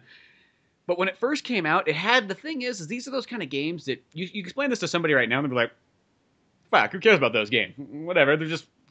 But at that time period, those are the games you're like, oh, fuck. Are you fucking kidding me? I could take the fucking arcade home with me? Because that's almost like what the Saturn was, like many other. Actually, every Sega's pretty much like the arcade home. But when you first got a Saturn, you could get yourself some Virtual Fighter, some Virtual Cop, some Daytona USA, and then they even had game uh, the Panzer Dragoon game. So if you got that fucking day one, you're like, yeah, this is gonna become an investment Mm. in the long run. Because that game's like three hundred dollars used. That was one that just kind of disappeared for a while. I mean, I know it has its fan basis, but yeah, people hardly bring that one up. Yeah, it was a big deal game then, but I just think it's like that. It's like, you know, I think about Virtual Fighter like in the arcades. It's like that was the game that like was such a big deal like in 94, 95, 96. I know nowadays it's kind of like the Forgotten Fighter, though it's one of my favorite ones. I mean, they haven't made a new one since Virtual Fighter 5, and that was like almost a PS3 Was that Like- PS3? launch start game. Yeah. Virtual Fighter 5, yeah. It was 360 and PS3 and it came out like literally like 1 year after those Mm. systems came. So it's like that's the last time. We're lu- the lucky thing though is in Dead or Alive 5, I get to play as Pai, which is my favorite Virtual Fighter character, but then they also got Jackie and Sarah and Akira. Too bad they don't have Kage, but they're probably like, well, they're Sega just like get here. We don't know what to do with them. Take them. Well, they fit perfectly in the Dead or Alive because they actually got the exact same controls. I mean, Dead or Alive is definitely the faster game, so it's kind of like they have to uh, balance the characters out. I like playing as them online though because nobody fucking plays as a Virtual Fighter character, so they get thrown off like what to do when they have to fight one. but um, no, I think that was actually kind of a you know it's a cool launch. Now we all know the Sega Saturn only lasted a couple years and kind of had you know it has sweet games, but it's kind of a lost in time system. But that was definitely much better than what fucking PlayStation had at day one. Oh, I don't even. Yeah, but from the sounds of it, definitely. Well, Pantra Pantra Dragoon, or that almost sounds kind of like that was like Sega's Star Fox. Yeah, it pretty much was the original. I think then like the second one was almost like a full-on RPG, Phantasy Star style or something. I never played it because those games always sat at that like two hundred dollar price tag. So it was like you ain't getting your hands on this anytime soon, boy. There's the Neo Geo, which is like nine hundred dollars. God, the Neo Geo was like so fucking. But the cool thing about it though is the original Neo Geo though is you literally got the actual like arcade games like hundred percent. You weren't getting like the watered down version. So there was something to be said there, and it's technically cheaper than buying your own arcade. You know what I mean? Yeah, it was like nine hundred bucks still, and then now it's like you know these games on emulators now. I know that's that was then, this is now kind of thing, but like nine hundred dollars for some of the like for the idea. And I remember like one of their ad marketing ad, uh, one of their marketing things like you need a pair of these. Shows like two brass balls to own one of these. So it's more like you need a pair of these and just have like a big fat fucking wallet. Because what else are you gonna get? How else are you gonna get the Neo Geo? Because literally, That's just like be condescending and talk down to your fan bases to buy a fucking nine hundred dollar system. Because really to me like back in the day I, I never knew anybody had a neo geo. In this day and age i still don't know anybody that did. But i'm assuming the people that had a neo geo was some guy that was like 35 years old fucking working in like the silicon valley that just had all this money no fucking family. Like that's the person who's got the neo geo. You know what i mean? Just Probably like likely, i'm fucking yeah. rolling in money. Suck my dick. And then his like you know website crashes in 99 and he's like ah all i got left's my neo geo. I'm on the street this is all I got. You gotta give the Neo Geo, Frank. You gotta give it up. No! Oh, No, it's oh. my identity! Remember how cool I was when everybody's like, dude, Frank's got a fucking Neo Geo, man. Like, dude, we don't have to go to the arcade anymore. He's got it, man. He's fucking got it at home. I've always wanted to go there, just like play some Metal. Slug, some fucking King of Fighters, man. Oh my god! He's like, yeah, Frank. Nobody cares. We all got emulators now. Hold on a second. I was the cool guy. I had a pair of yeah, you had a pair of these. They hold up a pair of brass balls. You know, we you gave us all a pair of brass balls to make fun of us for not having Neo Geo. I know, I know. Yeah, it's one of those things like that. For some reason, he had enough money to just to hand those out. He had those laying around. I know, but that's kind of how it is. It's like it's a cool system, but yeah, it's kind of like impractical. Because plus, you think about it too, like the price that was back then was like that'd be like twice nowadays. That'd be like a twelve hundred plus dollar system or whatever. Yeah. You know, or or it's like the I got I have one because I got it used and it's slightly broken, but I have that um the Sega or it's the Panasonic. No wait, is it Panasonic or is it fucking Philips? No, it's Philips. Philips CDI. You got a Philips CDI? No, I don't have a Philips CDI. I take it back. It's the Panasonic one. I think I'm trying to blank right now on my own system, but it's the one where it's like it's got a laser disc in it, so you can play laser disc games, and it's got Sega CD and it's got Sega Genesis all built into one. And that thing was a thousand plus dollars in like 1992. So that means that it was like literally like two thousand dollars if it came out today. hearing all this, the re- it kind of reminds me why I'm so apprehensive to get certain games because you know, imagine you get like the nine hundred dollar system just for it to go under a year later. Yeah, well, that's like I think not the Philips CDI, but one of those systems like that only lasted Neo Geo. No, Neo Geo Neo lasted Geo. quite a while though. Like even though we we don't think of it being like that, you know, because I think they share the exact same carts as the arcade, so you were still getting the arcades always coming out. So you, it was that was actually one of those strange ones. Like that's not like the worst investment because they kept making stuff for it because it worked well at the arcade, but. Yeah, and then they made the cheaper version, like the Neo Geo CD, that kind of sucked because it had like horrible bad load times on it. And then they also had well, there's also the Philips CDI, which is universally hated. Yeah, the Philips actually has some kind of cool games for it though. Um, like the Jurassic Park game on that thing is fucking sick. Like it's so different than Gr- all the other ones. Game Grumps has been playing some of their ep- some of the episodes on Philips CDI. Arin's like, all right, we got one of these things. Might as well just torture ourselves with some of the games. So they've been playing those bad, really hated Zelda games on there, Mhm. and then they're like, I didn't even know this thing fucking existed. Once I saw it, I had to know. Eugene Levy's Wild and Wacky Mini Golf. well, those are always like the systems that like because I think they were really trying to sell those. They, those weren't kids systems. They were trying to be sold to like forty year olds. Mm. Which that time period, how many forty year olds were buying systems? You know what I mean? Unless you're that guy Yeah. fucking rolling around in money in fucking Silicon Valley who just like I love technology. Ah, just like I'm eating fucking microchips like they're potato chips. Frank, why are you fucking eating the microchips? I got so much money. Who the fuck cares? Well, that was one of those things when I when I was a little kid, when I was like, you know, like say eight eight or nine or something, and I saw like an adult, like a full grown adult with a Nintendo 64 or a Sega Genesis, I was surprised. Not like in a that's that's for me. What are you doing with it? Not like that, but more like in a uh, like, oh my god, you play video games? I thought it's something only people my age did. Yeah, so it's that weird kind of thing like that, which nowadays I feel, in a sense, okay, if those systems like in that style were sold now, or like a thousand dollar system today, if it was really fucking sick, I mean, that's I guess you could say that's a PC. you know, Mhm. people don't bat an eye, I think, as much anymore for like if if it is a legacy system where it's like, hey, this is for like you know people that are really like their gaming a lot. But yeah, back then it's like that that was asking a lot for when you also didn't really have the games that were strong enough to back it up. Not that the games weren't cool, because a lot of those games, even though they seem really dumb now, I kid you not though, when you played those games, it fucking back in the day, especially I guess if you're like the age of like eight, they're fucking amazing. Oh yeah, you know, yeah. I know nowadays in hindsight they're like fucking retarded, but at that period, like there was nothing else like that. But I kind of climb up this list here, and I actually I actually put the Wii on here, and I know that sounds like kind of a weird system because it's we just talked about Twilight Princess being on there, and it was kind of pretty much a GameCube game, and yeah, that was there. But at the same time, that was you know Zelda. You had the fucking motion controls, and I know some people go like, "Oh, those ones are kind of dumb." I'm like, I don't know. I kind of thought they were cool on that one, and in fact, I actually like the controls better on Twilight Princess than I do Skyward Sword. I thought they were a little bit more Hmm. dialed in there. Now, definitely the sword's better on Skyward Sword, but everything else was better on like Twilight Princess. Weirdly enough. Hmm. But then the other thing too, it's like okay, Wii Sports is one of those kind of games, like, you know, it's definitely like I can't imagine buying it, but being thrown in there, we did have some good times with Wii Sports, right? You know, I only Yeah, got the did. cops called on us multiple times because of Wii Sports, so I gotta say, hey, that's pretty fucking cool. I remember that time that like we're in San Francisco and Kyle, we're we're playing Wii Sports. I think it was me, Cisco, and Kyle. I don't know. Were you there that time? I'm, I was there several times. I don't know about that. I don't think I was Well, there. this is the one where Kyle got a by. fucking hole in one. So we're like, we had fucking Frank Sinatra playing. I don't remember it being that loud. And then we're like, yeah, fucking hey, Kyle got a hole in one. And then next thing you know, the fucking cops are knocking on the door. And I think every single time the cops show up, they're like, oh, we're gonna fucking beat up these fucking like, just probably a bunch of college kids in there for keg. Like, come on, let's get ready.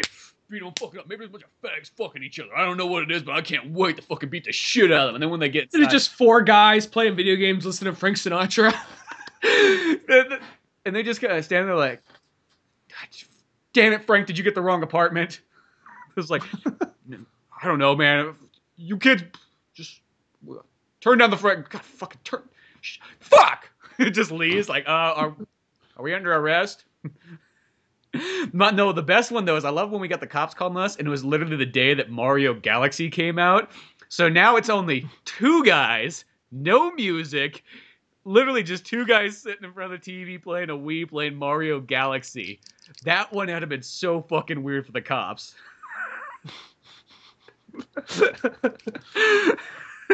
and that just seems to me like I think about that. I'm like, what?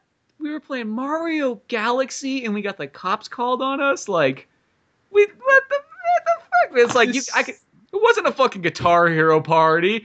It wasn't fucking a Halo Four Fest. This is gonna sound slightly offensive, but Cisco told me this. He said when you guys were doing that, like at some point, you guys were just having like some video game marathon, and I'm just kind of almost repeating what he said, but he said what Kate would happen. It was like two or three o'clock in the morning, and there is like this Asian kid that you guys kind of knew. He couldn't speak English that well, but he lived on the same floor, and he kind of came in and he just clo- covering his ears, and he just so tired. It's like too loud too loud, just kind of like swaying back and forth. No, no, no, no. Too loud, and like that he just was- walked away. I'll- add in the details. That actually wasn't. That was um. I got up early because I had to go somewhere, so I got up at like probably maybe six or seven. And Cisco was like, "Well, fuck, now I'm awake." So he started playing Donkey Konga, you know, and he probably had the volume low, but below you had the fucking conga sitting on the ground going. And then that Asian guy showed up and knocked on the door, going, "Ah, too loud." Didn't say anything else. Probably all the English he knew. See, that's what I mean. As I look at the Wii, it's like, okay, there wasn't a whole lot there, but boy, was there some fun things right off the bat that you just never really did before. And you could say that Wii Sports, obviously, for a lot of people, that was a that was a seller game because that's almost what you want when a system comes out. You want something that's like, hey, I've never done that before. I played fucking golf before, but I never fucking swung a, like a wand playing golf. mm-hmm. Or and the other thing too that this is the other one that I think that people kind of forget, but this was actually a big deal, especially nowadays when you really think about it, was the virtual console. And that was there right off the bat too. I mean, you only had a couple regular. You probably had like Super Mario Brothers and Zelda, and I, I don't know what more. You probably didn't have like the greatest games. I think you had Sonic the Hedgehog and things like that. But the idea is like, oh fuck, there's a lot of these Nintendo games that before you always had to just go track down. I mean, you could always emulate them. Obviously, that was there, but on your system, it was like, oh, that's kind of cool. I can. I fucking want to play through Zelda again. Boom! I can play it right here on my Wii. Was Super Paper Mario one of the opening ones, or that come out like a week later, or a I month think, later? I think that was very close, though. I think that was right in the main month. And I kind of, Mhm. on this list, the way I kind of look at it, I kind of give about like a month or so, maybe a month or two leeway. Because here's the thing: a lot of times a system comes out like in September or November or something like that. But we all know that most people, especially back in the day before like pre-orders and things like that, you know, if you were lucky to maybe get it for Christmas, so the system's already been out for like two months or so, maybe three months Mhm. Or you had to like save up from Christmas and maybe buy it at the very beginning of January, or sometimes it took you like a couple months just to find a system. So that's why I kind of count like if the game came out like in the first couple months, that's still pretty much a launch release. You know, that's my disclaimer. So if anybody wants to go like, well, technically that game came out two weeks later, like, shut the fuck up, bitch. Like I know what fucking came out. Came out when I fucking got my system. Let me tell you that. and then you know, kind of moving up the list, another system that actually had, if not the strongest launch, but the games that it had were pretty sweet though, is the Super Nintendo. Mario World had to be one, right? Well, Mario World and F Zero and Pilotwings were the three ones you could get day one. But Mario World, there, it's like, come on, dude, that is close. You know, That's my personal favorite Mario games. game. That's like the to me, I consider that the pinnacle of Mario games. Yeah, same here. I'm not going to deny if somebody says no. I think Mario Three is. I go, oh, okay, th- that makes sense too. I can understand that, or even Mario 64. All three of those ones, totally logical choices. But come on, you get that Mario game. It had such a big world, all the secrets. You know, it took Mario Three thing and just like made it like bam, explode up with new kinds of items and fucking like fantastic graphics. And then you get the first F Zero, which was like a sweet racer. And I think you can play that one multiplayer. I'm not, can't remember. Some sometimes there's like those games it's like you assume that when you make a launch, you want to have one really good single player game and one really good multiplayer game generally. hmm And I mean, I know you can play Mario multiplayer, but I think F Zero was too. But like, okay, and like the next month after that came out or so, you started to get things like you got fucking Final Fight, you got Castlevania Four, you got Super Ghouls and Ghouls and Ghost, you got Super Off Road, which was a badass arcade game. You remember that one with the top down view, and you had like the Oh. fucking Toyotas Right, right, right. Yeah. you know, they had Super R Type. Um, yeah, and then you got the Home Alone game. Have you ever fucking played that one before? All right. Does that? Does that? Uh, it's it's there, but Dude, that Home Alone game is pretty cool. I, I'm not gonna lie. I mean, it's not gonna sell me a system. I'm telling you that. But if it's there, okay. Well, is that one on Virtual Console? I think it is actually. I Really? it's on- I, I. I don't know. Sometimes those the licensed movie ones are always hard. Maybe that one's not. I could be wrong. Hmm. Actually, uh, I, I feel like I have seen it, but I I could be lying to you all at the same time. Oh, okay. Well, I got another one on the list here too. This one's actually one of those ones. It sounds like a weird one, but here's for a good classic: is the Atari Seven Thousand Eight Hundred. That And happen? Another time you're like, oh, that's just one of those miscellaneous other Ataris. But yeah, look at the fucking list of games that came out with day one. You got Asteroids, you got Centipede, you got Dig Dug, you got Galaga, you got Joust, Miss Pac-Man, Pole Position 2, and then Robotron 2084, which is one of my favorite Atari games. Those are all classics. Midway games. Or technically Williams, back before Midway bottom out. All all classic games right there. But I'm like, dude, that like that list though, you think about it, like, dude, that's a fucking that's like all your best fucking early '80s arcade games in like one. Oh, Mhm. well, not one, but you know, you could get day one. Like, so if you fucking if you were like rich and you fucking slapped down a thousand dollar bill at fucking KB Toys, you'd be like, yeah, KB Toys that immediately dates it. it really does. You know, or you go to what um what's what was the really big one that were they were only in cities um Toys R Us. no not Toys R Us they, they were they were like the rich people's Toys R Us. Uh, Fucking uh, Kitty World. FEO Schwartz. I don't know that one. FTO Schwartz. It's, I don't know that one. F- FEO Schwartz. That sounds Schwartz. very fancy. It doesn't just like a toy store. Well, they only like were in like San Francisco and New. I just remember the one in San Francisco and like New York and places like that. Probably Los Angeles and Chicago. Wait, to bring it back to Home Alone for a second, is it the type of is it the toy store he goes into? I think it is literally the toy store he goes into in the movie. because that's a chain. Yeah, yeah. It's a chain, but it's one of those chains that probably it's like there's like ten of them in the entire world. Not anymore. There's none of them now. But yeah, that was a really fan. Okay, I know what you're talking about. Yeah. and then okay, so there's that one, and I think that's that's one of the ones I look at. them like that's probably that was the coolest like classic one because a lot of the other television stuff like that, you're like, I don't want fucking like shit games. Like where's the good shit? Actually, no, I think television had Donkey Kong with it originally, but still. Kind of weird knowing there was a Donkey Kong for like in Mario Brothers for Atari. I know. Well, I got the I got the Donkey Kong. I got the actual cartridge and box for the Intellivision. Mm. So uh, there's that. But then coming to the the real Nintendo, then you got the NES. It actually had a pretty good launch. You know, you got not only did you get Super Mario Brothers, can't go wrong there. You got fucking Duck Hunt, so you got a gun. Like, come on, you can't beat a gun. You know, you got the regular Mario Brothers, and then you had Excitebike, which was another really cool game because you know you get build your own levels and play multiplayer and have a good time. And plus, that game still holds up well. Like that's one of the coolest fucking levels on Mario Kart 8 is the Excitebike level. I look more forward to that than almost anything else. It's like, oh fuck, an Excitebike level? You gotta be kidding me. Uh, Do you just go on a lot of jumps, or is it kind of like is it? Yeah, they got they got like tons of jumps, and they're all kind of based like in the Excitebike style. So they're all kind of like you go up in squares and do little mogul things, and it just goes around in a circle. But it's a badass level, and then it's got the music playing too. Oh, that's pretty. That one, you know, and it's funny because they released other Excitebike games. You know, you had Excitebike 64. I didn't even know about that one. Exactly. Then they had one for Wii. It was a launch release. It was called Excite Trucks. Well, sometimes you try to like um, modernize something, it doesn't hold up. It's something just the eight bit thing of it. Like you know, people. I mean, I, I'm not even sure if people liked Kid Icarus that much, but all when like they started doing like we're revamping Kid Icarus, like uh, I don't give a shit. Yeah, well, there's certain ones too. It's kind of like you know, it's because like Ice Climbers, I think, was one of the original ones that come out there too, and that's always been the game. There's probably somebody who's like, dude, Ice Climbers is like my fucking game, man. Like I live and breathe Ice Climbers, but I don't know. I felt like most people that I've always known kind of like, oh yeah, Ice Climbers. It's like balloon flight. Like you play it because it's there, not because you really want to play it. It's like Cliffhanger without balls. yeah, exactly. You know, or Cliffhanger for Sega CD. Never played the Sega CD one. yeah, it's Is it where you just play through the movie, just like push like the buttons uh, to like make the movie keep going? You know, I can't remember if I played the Sega. I played one of the. I might have played like the Genesis one or something. I remember being platform, and sometimes the Sega CD version was always just that with better sound and so on. But I don't know. I don't know. But you know, also I actually had a pretty sweet launch release, and probably like one of the best launch releases for a system first coming out though was the Xbox. Mm, well, they had Halo from the get go, right? Well, you had Halo from day one, which I actually kind of forgot. I thought that game actually came out like a handful of months later, but that literally did come day one. But then you had Dead or Alive 3, which was a big deal because it was almost like, hey, if you're going to play Dead or Alive, you got to leave you, what you know and love and go to it and go to America and get your freedom system called the Xbox. I remember some people were like, "Xbox is gonna go down, dude. No, and no way it's gonna stand up to Sony and Nintendo."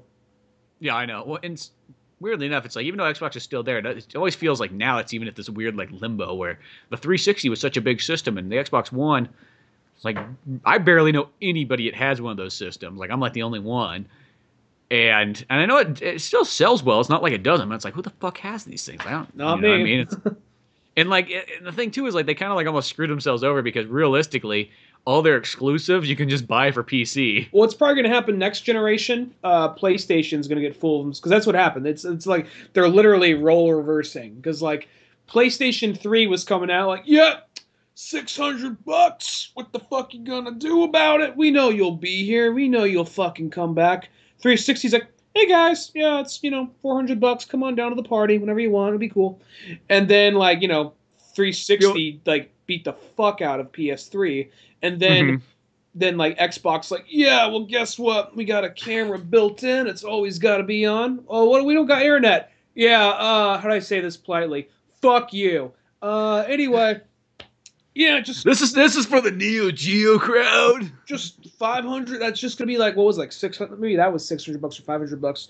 No, the, because the PS3 was the one that was like 600 bucks, like right out the oh, gate. Oh, P. It wasn't wasn't like Xbox One like four hundred or five hundred. I thought the PS. I think it was it was it was 500 or 450. I think 'cause I wanna say the PS4 was a little cheaper, wasn't it? Because I want to say it was 400, and then I want to say the Xbox was either 500. I think it was 500 actually. And PS4 was four hundred probably. I'm guessing. which pretty much fucks any system. I don't care who you are. Like if you look at history, everybody who charges like a hundred dollars more for their system always loses. Always, always. So it's almost like one of those ones like when you make that mistake sometimes, and I think that's why Nintendo made the Switch three hundred dollars. Mhm. Like I feel like they should that system could be four hundred bucks, and I wouldn't even bat an eye nowadays to pay that. But I think they realize that like no, we you gotta keep it low or else you're gonna fail. It's, it's like the Sega Saturn. The main reason the Sega Saturn pretty much lost to the PlayStation was a hundred bucks more. That hundred dollars more is a big make or break thing, like in the store. Yeah, and then like I remember like about like a week later, Xbox came or Microsoft came back out like, "Hey guys, we're just playing with you. You don't need to have internet constantly." And uh shit, uh You don't need the camera either. I, I, I mean, it's, it's what the cool kids are gonna have. But hey, I'm not gonna have one. I, I, you know what? You don't need to have one. what Let's back this up. what was the guy's name? That PR guy that just totally was sticking his foot in his mouth. Um it was uh, I forgot his name, but he like resigned. He was either resigned or got fired like a month after that. No, yeah, I remember. Yeah, because it was just one of those like, yeah, get this guy out of here. He's fucking not helping our cause. But that original Xbox, like, you know, you also had games. You had Oddworld three, which was kind of a big deal, I guess, if you're trying to snake over some fucking PlayStation fans. Snake oil their way in there. snake over them. And then you know they got Max Payne and Silent Hill 2, and I know that I think that was out on PlayStation 2 a little bit beforehand, but still you're you're getting kind of like a big variety of different things. And then you know, lo and behold, later on you'd start getting all the fucking Sega games there. But that's a pretty strong like day one. You know, I mean, not only getting fucking Halo, get Dead or Alive. You got some good variety there. That's definitely outbeats the fucking PS2's launch release. Definitely does, yeah. And then here's one too that I think is one of the one of the best ones is GameCube. That had a pretty fucking strong. I think as far as Nintendo go, that was pretty strong. I mean, you had Luigi's Mansion, you got Rogue Squadron 2, which we all know Rogue Squadron 2 is like literally like arguably top 3 best Star Wars games. Definitely, definitely. You know, and to this day and age, it still outbeats like so many other ones. It's like that's like, hey, they can't even fucking top that. How good that game That is. one that was so confident, like, no, no, guess what? We're opening on the Death Star level. Last one, that was the last level. This is the first level. Yeah, exactly. Boom, there it is. So you got that right off the bat, and then you got Smash Brothers Melee, which you know, to some people they still think that's the best Smash Brothers ever made. Mhm. You know, to me it's kind of like, well, you know, Melee, Brawl, Wii U, they're all good. I don't, I don't feel like it's like some people talk about like, oh, blasphemy, everything's changed. Well, they talk because they, Yeah, they lowered they they made it just a, a, a fraction slower in Brawl, which I'll be honest, I didn't notice when I first played it. People said you, you could notice they made it way slower. I'm like, I really did not notice it was it was that much slower. I just think it was just such a huge jump from Smash Brothers to Melee. Because that's the thing. That's what made that game such a big deal, and that's why I think the GameCube was kind of one, is because that was actually I almost consider that the last like humongous leap in gaming. Now, I mean, obviously, yeah, you go back and look at a GameCube to like a PS4, and you can see that there's a big change, but like from that 64 to like the GameCube, it's like, oh my god, that was you know, you're going from these like just polygon characters fighting each other to these like almost like fully rendered looking people that you could kind of see 360 view around. It's like, oh, this is a big deal. And the game's moving fast, and they added like three times more characters. I mean, I put so I put over 100 plus hours into Melee. That's like the last time I could say that about a fighting game. Mm-hmm. So I'm not totally denying it. But also, too, I think fighting games. We talked about that I think on the last podcast, where it's like a lot of times the second one is always like the pinnacle of the games. It's like almost like they have the first one come out, and then they just get it super fucking dialed in by the second one, and then everything else from that point on, yeah, they're adding either new characters or kind of changing things around, but for the most part, you know, it's more of the same, for better or worse. Yeah, definitely. You know, but that you know that launch, you know, all those kind of games. I mean, you had Pikmin as well too for you know a cool, way different Nintendo game. That was a game that Or a lot of people- people were like rolling their eyes at. When I remember, I looked at the game like, "What the fuck is this?" And actually play. Oh, it actually is kind of fun. No, it's, it's it's cool. It's very different. I've always kind of wanted to go. I never played two and three, and I kind of feel bad. Like I feel like I should have, but at some point I'm gonna sit down and play them. I'm not gonna- They, that was a, There's those weird little strawberry monster things, and I remember it was one of those games I, I would almost, you almost felt like a little like, the, you had the big strawberry monster things, just go around, eat your guys, and try to kill you, and you kind of wait. It almost made you feel kind of like a fucking creep. Like their baby would be like separate from it, like now, like just stick them all on there, like its- throwing. and carry its corpse away. The thing just starts losing its shit, just coming after you, like fuck you. That's gotta be Well, like the most like nightmarish scenario for a parent, and you're living it through, or you're you're the aggressor in a Nintendo game. Well, that's always kind of like Nintendo's always been good about like making like almost like really fucking violent games, but just giving it just the cute graphics so you don't think it's that way. But because that game, like if you just let's just say if that game was done like Mass Effect graphics, like Mhm. that's what it looked like, and everything like that. And what you were is you're this, you know, this scientist guy that crash lands on his planet. Like I gotta fucking get back to fucking Earth and fuck some other planets. I'm Doctor Robotnik, pretty much. You know what I mean? Like, hey, you, there's some animal friends. Put this fucking armor on. Here's a gun. We're gonna go out and hunt the rest of your planet's creatures down so I could get back to my planet. but uh, we're we're a, we're a uh, you know a loving race. Not anymore. You're my slaves. You're gonna work for me. You're gonna die for me. this is now Planet America. yeah. Put my flag down here. I gotta get back and meet Master Chief. So you know what? Let's hurry this shit up. Oh look, there's a giant strawberry alien. Let's kill its baby and eat it for dinner. Here, take this handheld nuke launcher. Shoot it at him. no, no, no, kill the baby first. I want to see the parent cry watching their own die before them. I want this to be its last memories. and then we're gonna chop them up and eat it. But we're we're only gonna take the fucking hides and leave the rest there to rot away, so they know not to come back. Leave it as a message. I'm thinking about like Pikmin because like just either way, it's like you get the baby because it was like almost you had to like power and level your guys up. So you had to get there. There's the small one. Yeah, I only played the game a few times. I just remember this. You got to get that thing, take it with you, and then you'd get bigger and you get stronger. Or it's just like you can just get the bigger one, leave the thing orphaned. You're like, where are you going now? you know, it's a horrible situation either Ten way. years when you grow up, you give me a call. We'll sell this like men. Captain Olimar just leaves like a fucking knife, throws it in the ground, like, find me when you grow up. oh yeah, it's a space knife too. but that's really how that game A is. It's knife like- made from its mother's tooth. yeah, just this super violent game sold with like nice friendly graphics and everything like that. But it is a really fun game. It's kind of like almost how Jet Force Gemini is too. That's another one. It's a rare game, but that game's kind of sold as like you know you look at the cover you're like oh that looks like some fun space adventure and then just like no it's like there's these poor space bears that are being like tortured and killed by these ants and when you shoot the ants or the bears like their body parts just go everywhere and blood and guts is flying I left and I remember right. playing Jet Force Gemini and just feeling like, because the thing about that game, at first it took a minute to get used to, but then you got used to the controls, and it was just like I remember just there's something about that game, just ramboing your way with a machine gun through a whole crowd of these ant people. I remember like the grenade would stand out, one pull out a grenade, and there was one where just like one lifted a grenade, and before he even shot at me, I shot it in its hand, it exploded, just this huge just gush of green slime everywhere, heads rolling, and you were the game even like encouraged you to collect the heads of the ants. It didn't you you could collect the heads of the bears, which I don't know why, but it, it, you were encouraged to collect the heads of the ants. And I just remember I was like, "Oh, I am a god of death in this game." You know? Well, you think about that. That game is almost like more violent than Resident Evil, more violent than fuck, like so many other mature rated games. Like that. There's Jet something Force just Gemini so game- like satisfying about having like the rocket launcher and then just like the whole area just covered like in green or purple slime, just like fucking bug parts just like rapidly just flinging into the air, you know? just so much death and violence and all this stuff. It's just mm-hmm. ridiculous. That But, game was yeah, only like teen Pikmin. too. Yeah, that's just like yeah, that game's only teen. Just like Pikmin too. It's like really, it's like that game's. I think it was like E or something like that. It's like when you really think about what's going on, like what's really going on in that game. It's like what the fuck. Really, Grand Theft Auto is a much safer game technically.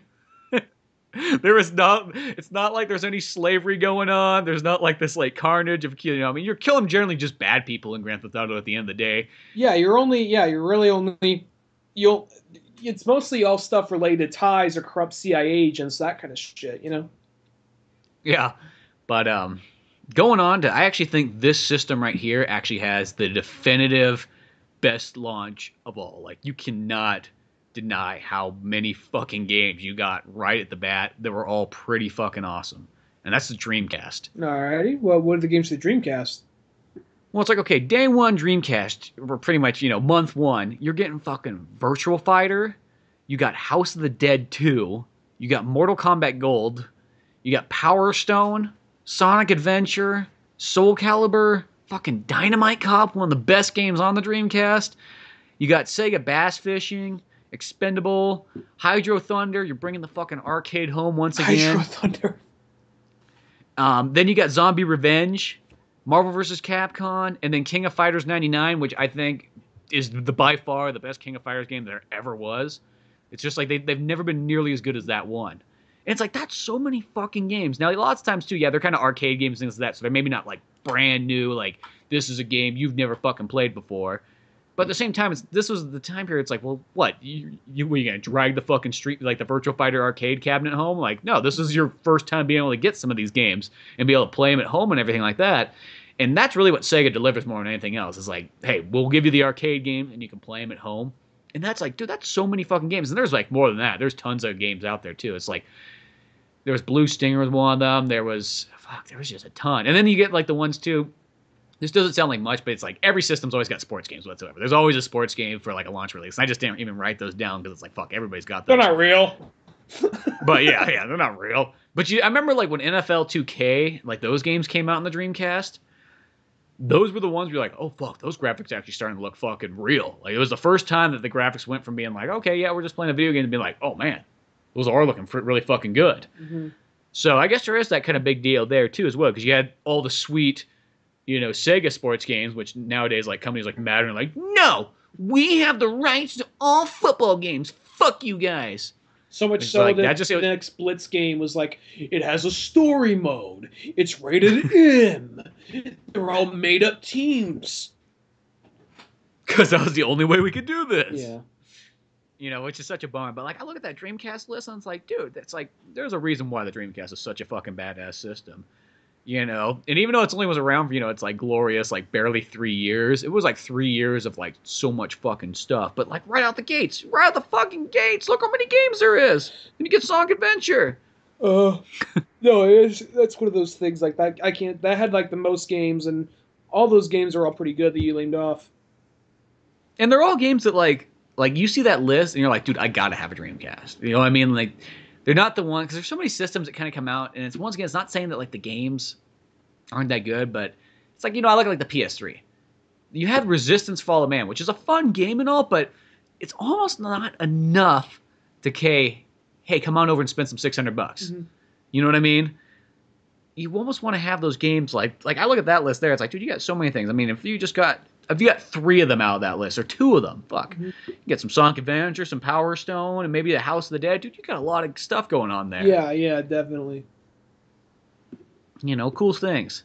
And then the last one on my list I got here, and this is this is the one that ha- doesn't really have a whole lot of games, but probably has the ultimate launch release title of all time that arguably outbeats almost anything else that anybody's ever had and probably will have for many of years. Probably since we've kind of noticed that, like in the last recent years, nobody really has great launch releases as much as they used to. But fucking the N64 only had two games day one Pilotwings and then Super Mario 64. But Super Mario 64, like that's that's like one of the only games I can think of that literally came out day one.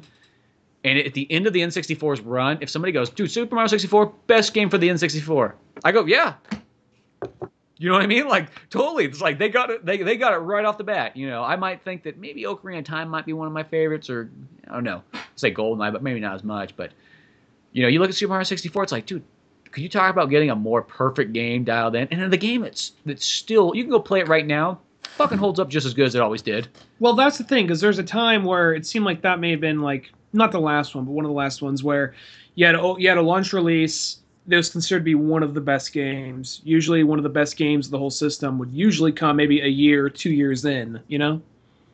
Mm-hmm. Now that was one that just opened up. Like, here's some shit we've been working on for a while.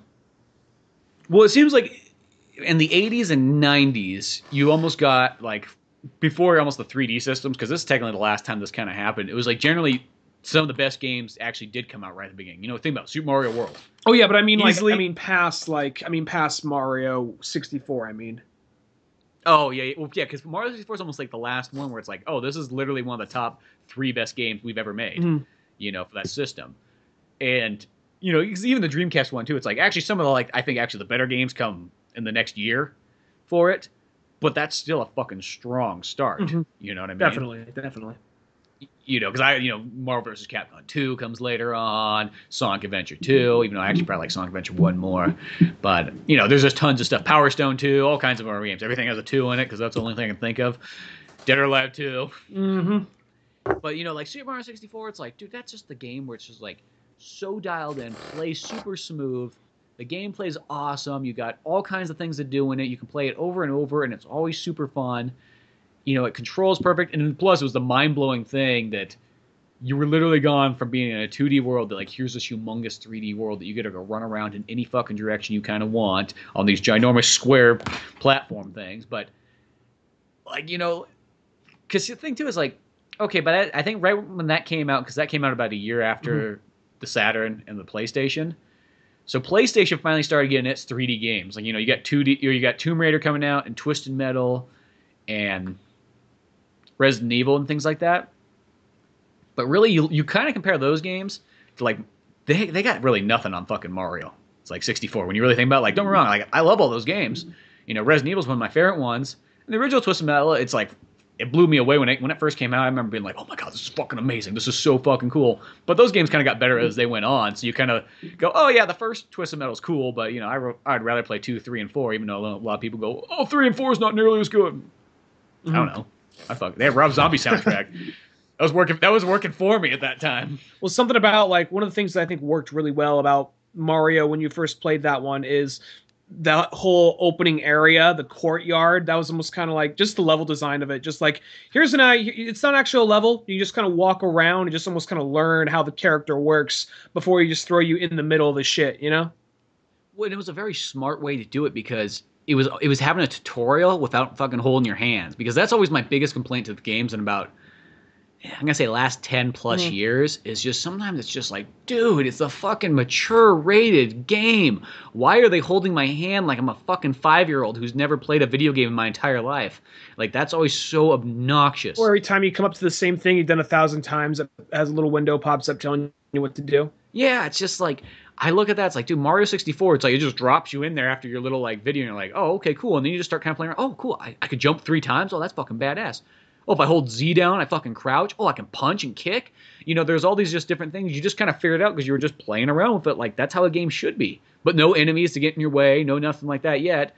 You're just kind of running around, and you, you could almost like dick around for like 20 minutes before you even found a level if you really wanted to, just, you know, first time playing it. Mm-hmm. Hell, you could think that was the fucking game. Mm-hmm. you know, be like, oh, this must be it right here. This is fucking already pretty cool.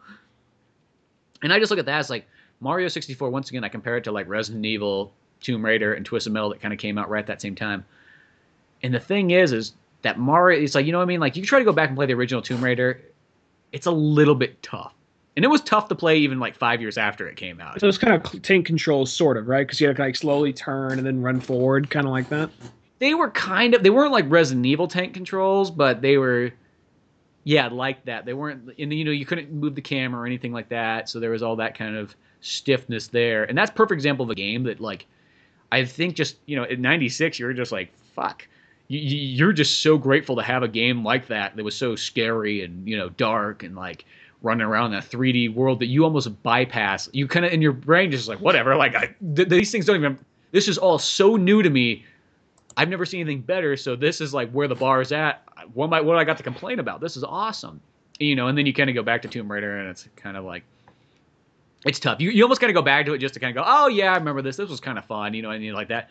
But it's one of those ones like I can't imagine seriously sitting down and going like I got to go through the entire game. You know, you can play that. There's an awesome, there's a way better like remake that you can play called Tomb Raider Anniversary. It's the first game, but it's in like the same engine as like the newer Tomb Raider games. And Tomb Raider was for a while was one of those things where people were really, um, it's just not the same thing. And even when Anniversary came out, people would be like it had its time. I don't know. I don't know. Like every Tomb Raider game was getting hate for a while, and then the uh, Square Enix one came out and it got great reviews, but no one played it.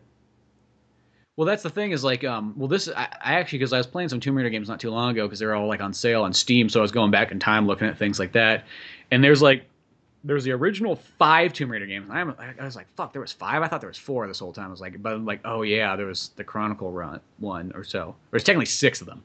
But there's the five PlayStation ones, you know, and they're all kind of the same thing over and over again. You know, the, you know, little improvements along the way, but they're cool for what they are. And I know that has a certain audience and things like that. And I mean, I enjoyed them, but I mean, even in the '90s, I remember those games being fucking frustrating. I was like, I remember being pissy then. And then they made the they made the Angel of Darkness, and I know that was the game that kind of like broke Tomb Raider. That was the one that was like people were like, oh man, what the fuck? It's the one she apparently died at the end. I don't think she died. I don't know if she died at the end, but it was like they were trying to compete. They they played it off like she did, and then she's back in the next game or something. Well, the next game's like that's the one where they start doing different things, because then that was the one where they're like they were trying to compete with Metal Gear Solid Two, and they rushed that game out, and it kind of like it had like it had cool elements because I was reading stuff on it. It sounded like they were trying some really cool things with it, just didn't always pan out. And then I, tr- I bought it on Steam for like 99 cents. I'm like, well, you know what? I never played this game. I'm going to go back and try this one out and everything like that. And I couldn't fucking get past like the first room. It was like the controls were like that kind of like maybe they didn't translate very well to like an Xbox controller on there or something like that, but it was like, what the fuck? The controls were like worse than they were on PlayStation. I, I just uh, because I they just had like yeah. weird like when somebody says tank controls are clunky, that's the ones they're talking about. Because I've never thought that Resident Evil I always thought had super smooth tank controls, and those game I feel like the controls are like dialed in for that game. Like that they're they're made because they work perfectly with how that game's set up. But Tomb Raider feels like they need to have more of like a world, and this one is just I, yeah, as I said, I couldn't get past it. It was like what the fuck.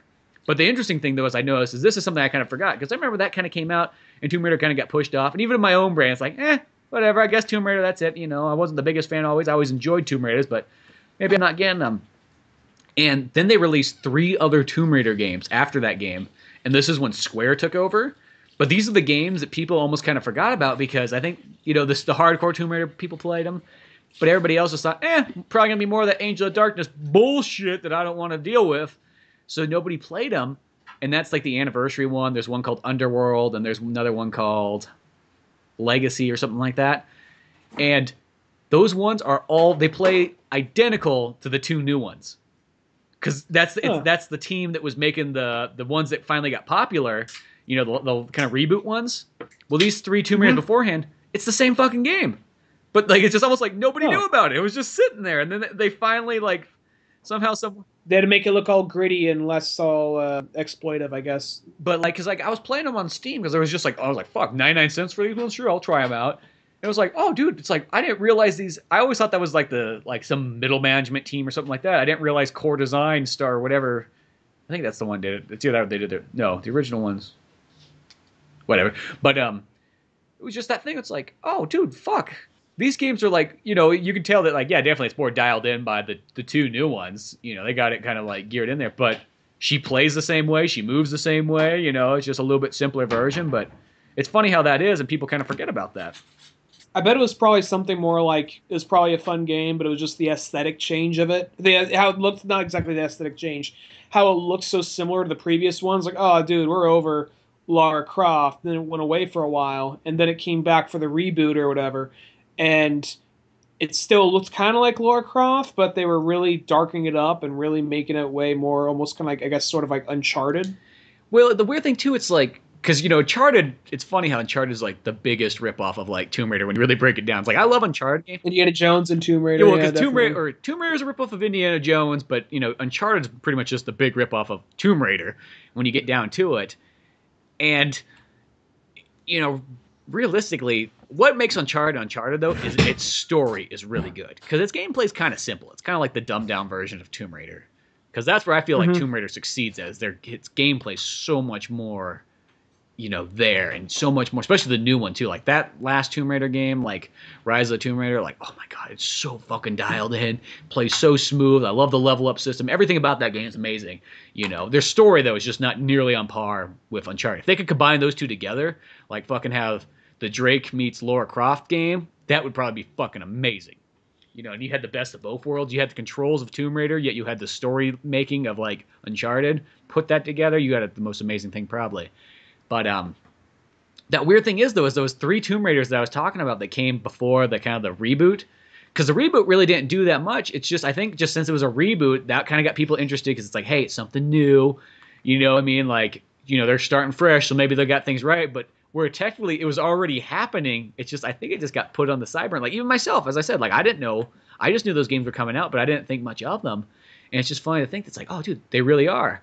And just the funny thing about the old Tomb Raiders that I forgot, it's like, oh, Lara Croft doesn't kill a lot of humans. She's mostly just going around, you know, killing animals. And I remember there was this review, I think it was on Steam. It's like Tomb Raider. It's the game where, uh, you know, a, a rich gymnastic or gym, uh, gymnast goes out and kills exotic animals.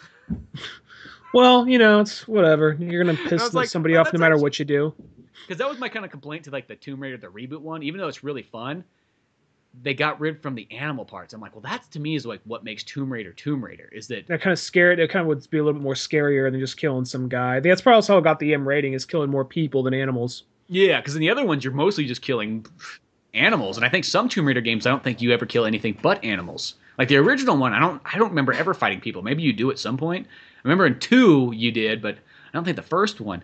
But I kind of like that though, because that almost gave it like the survival horror kind of aspect to it. Is that there was like, Mhm. oh fuck, there's animals here, and especially in the original one too. All of a sudden you're like, oh fucking wolves, you know, and then bats are fucking bats get on the way, and then all of a sudden it's like, oh, it's a fucking bear, what the fuck? And you start shooting this bear, and then you keep going deeper and deeper into the tomb, and then next thing you know, it's like, was that a fucking velociraptor that just ran by?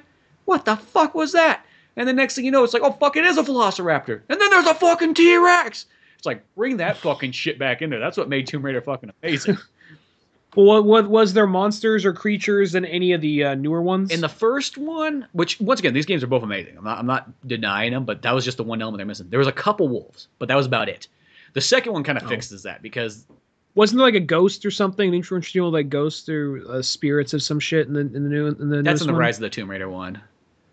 Oh. Yeah, they, they have that in that one, and that one does have you know you do fight wolves, and you you know you can shoot deer and rabbits and shit and hunt them down, and what else they got? They, they got they got a couple of you know there's bears that they finally put back in it, so they do actually have stuff, which is cool. So that game's pretty balanced out. The next level they just need to do is they just need to have her fucking fighting a T Rex again or something like that.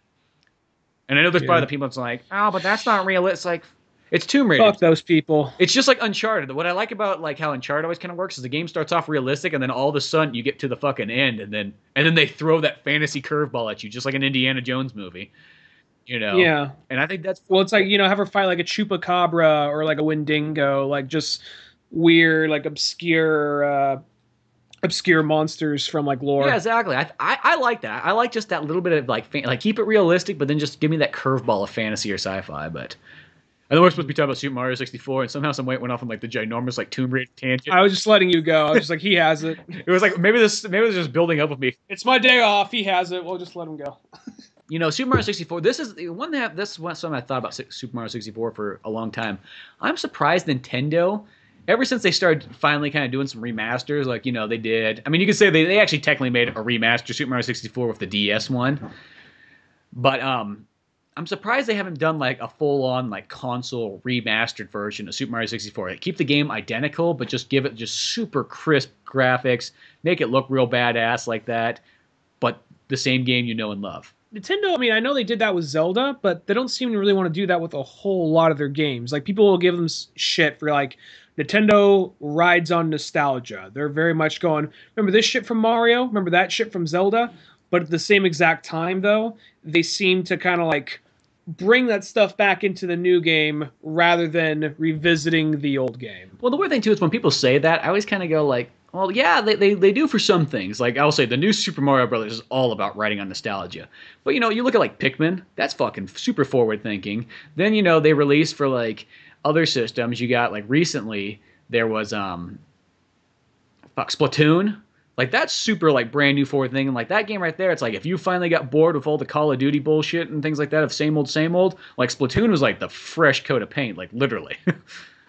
I'd like Nintendo to come out with a new franchise that was like a science fiction adventure thing, but kind of like not make it super kiddie, but more like maybe something along the lines of walking the line between Legend of Zelda and Metroid, or something. Well, that's that where I feel. I feel Metroid is the perfect place for Nintendo to kind of make almost a mature rated game. If they were going to make a mature rated game, or at least a, a deep, serious adult game, Metroid is the series to do that with.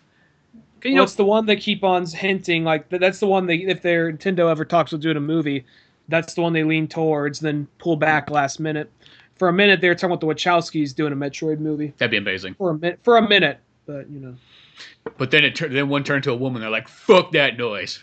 Fuck." I don't even think it was. It was. It was before that. I think it was like.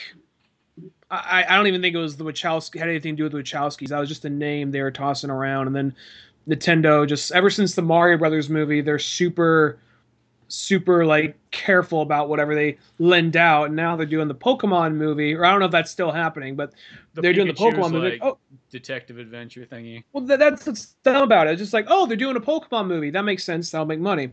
I mean, I don't know how good it's going to be, but it makes sense to do. And then they're just like, we're going to do the most random oddball one. Um, we're doing the Pikachu detective thing since it seems to offer m- most of a story, and Danny DeVito's voice in Pikachu. It's like, ah, how about we go with the main thing it's known for before we do make, make a movie the spin-off? But whatever. I don't know. I haven't heard anything about it, so maybe they just pulled out of that. I know that's kind of a weird one there too.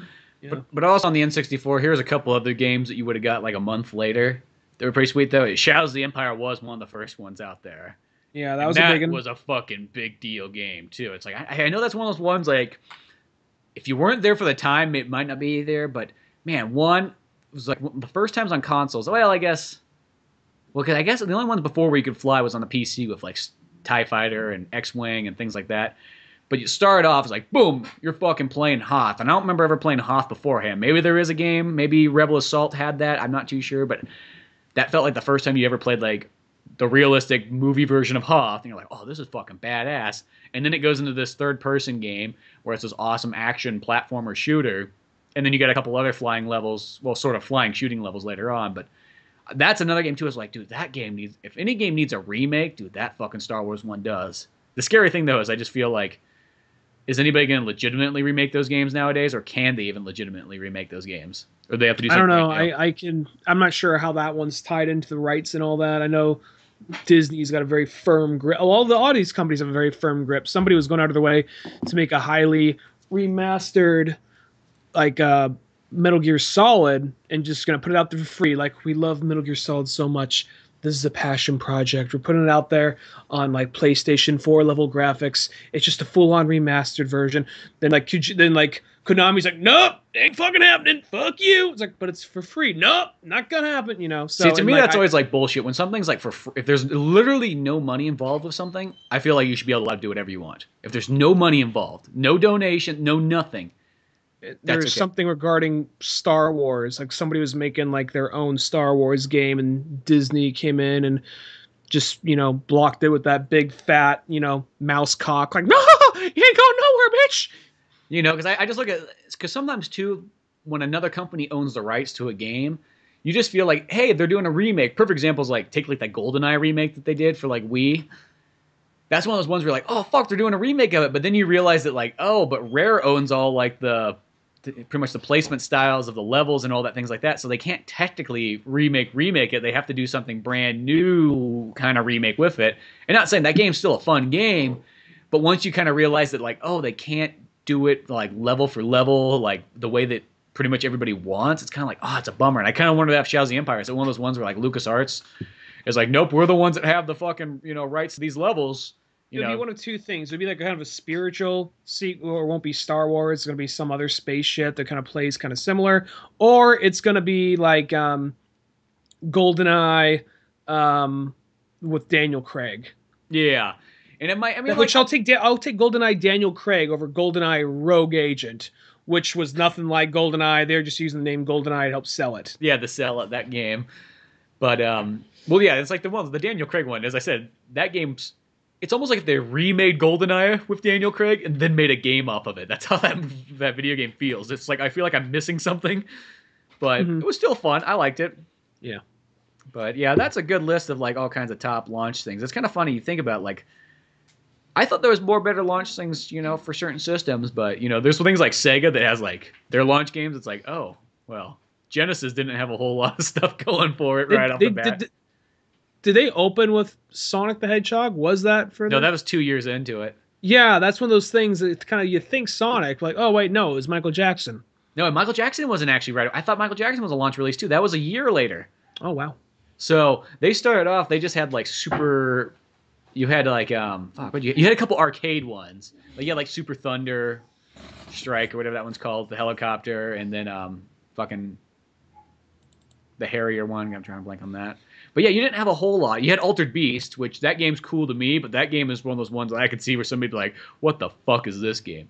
And then you had that game Last Battle that I talked about the other time. That was like, "Oh, Last Battle." Well, because a lot of those early Sega games, not that they're bad, but a lot of them are kind of those ones ones they were just kind of like okay compared to like Nintendo games. They weren't dialed in yet.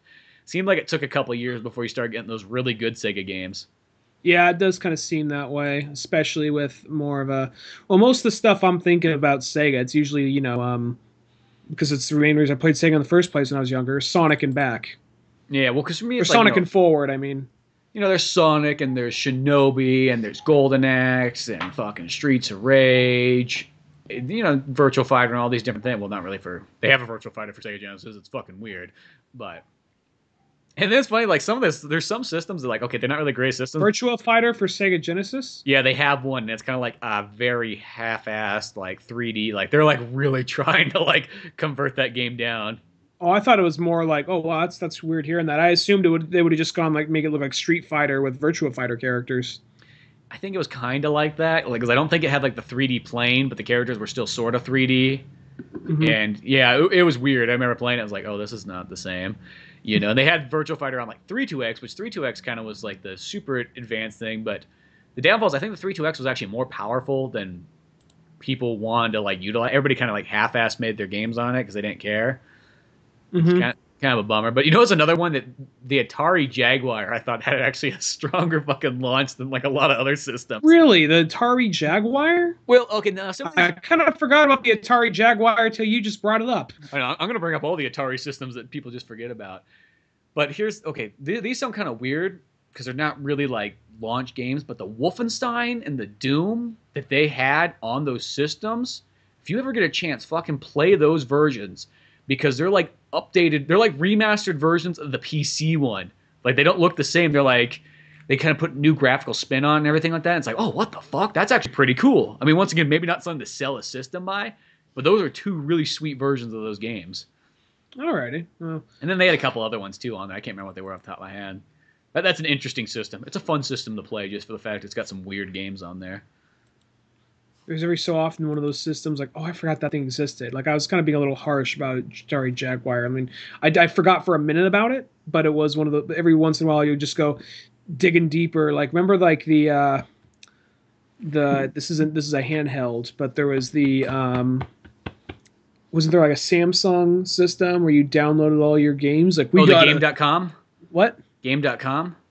It was it was like uh was it Samsung where it was like a little like handheld? It was almost kind of like a cell phone, but it was like you can get Splinter Cell. on Oh, N-Gage? N-Gage. That's right. That's right. Well, it's one of those ones like you kind of forget, like that mid '90s, like it's almost like we had so many choices then for like systems. Like right at that time period, I mean, you had a, you could choose between a Genesis, a 32X, a Sega CD, a Sega Saturn, an Atari Jaguar, a Super Nintendo, an N64, a PlayStation, a CDI, uh, fucking a Lynx, a Game Gear, a Game Boy, Neo Geo. I mean, like that is ridiculous when you really think about it. And a PC and a, and a Mac. I mean, like God forbid there was there so many choices.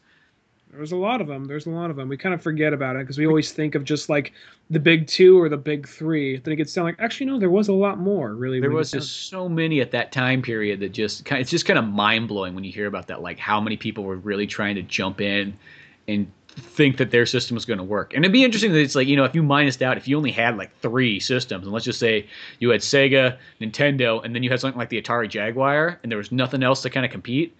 That might have worked pretty well in their favor. You know what I mean? Let's just say Atari Jaguar was by themselves and they got the licensing for like Neo Geo games and maybe they picked up all like the Panasonic stuff who knows? Like those systems actually might have done well if it probably wasn't for every other you know company competing with them. And that's a good point. Like it's kind of like how you kind of wonder how would have say something like the Panasonic uh, or the or the C or the Philips CDI. You know, Yeah, it's just all those systems. And it's like I feel like the main reason those things kind of falter is that because they have like really good attention. You look at like the specs and everything on those ones, like they were definitely much stronger systems. But it comes down to the end of the day. Sometimes it's like, hey, it's about it's like the Nintendo philosophy. Hey, you, you definitely don't have to be the most powerful system because Nintendo never was. no, Nintendo was always kind of on the lower rung. Like it's funny because people always think about it like there was like, oh man, back in the day, Nintendo just always had like you know their systems were always so much higher class than like they are nowadays, and it's kind of like, uh, no, they were always kind of the lower end system, not like in a bad way, but you know they weren't as powerful as a Neo Geo, they weren't as powerful as like a Philips CDI, they weren't as powerful as even like Sega CD or 32X, but at the end of the day, who's got the best games? It was like, would, would you rather have Super Mario World and Legend of Zelda and Metroid, or are you gonna want to have, you know, fucking like Bubsy or something like that? I'm like one of those. Bubsy was I was thinking because like that wasn't a character that just went away. They tried to make that character last and hang out for a while. Like they're like, here's Bubsy now it's in 3D. And it's in, I want to say they had one for PlayStation, like or one or two, and it just like it was like you know you could tell he was kind of like a Sonic the Hedgehog slash Mario ripoff, but like Uh huh. you know what? If we just keep pouring enough attention onto this thing, it will fucking last. And like the only one that kind of last a little while was like Crash Bandicoot, and everything else just kind of like fell apart. I'm sure some younger kids could probably tell me Skylanders. That feels like a whole other beast because it's like all yeah, about it's all about got- buying toys. You got to play to, in order to play the game. So You got Ratchet and Clank and Jak and Daxter, but actually, Ratchet and Clank and Jak and Daxter's a really good uh option. But and Sly Cooper, which is kind of like the other. well, I guess well, let me think. Well, I guess the thing is. All right, don't don't get me wrong here, but I think it's more because of us, but like not not us individually, but our generation. Say something like Sonic the Hedgehog, like his games probably aren't as good as the later his later games probably aren't really as good as later Jak and Daxter or later Sly Cooper.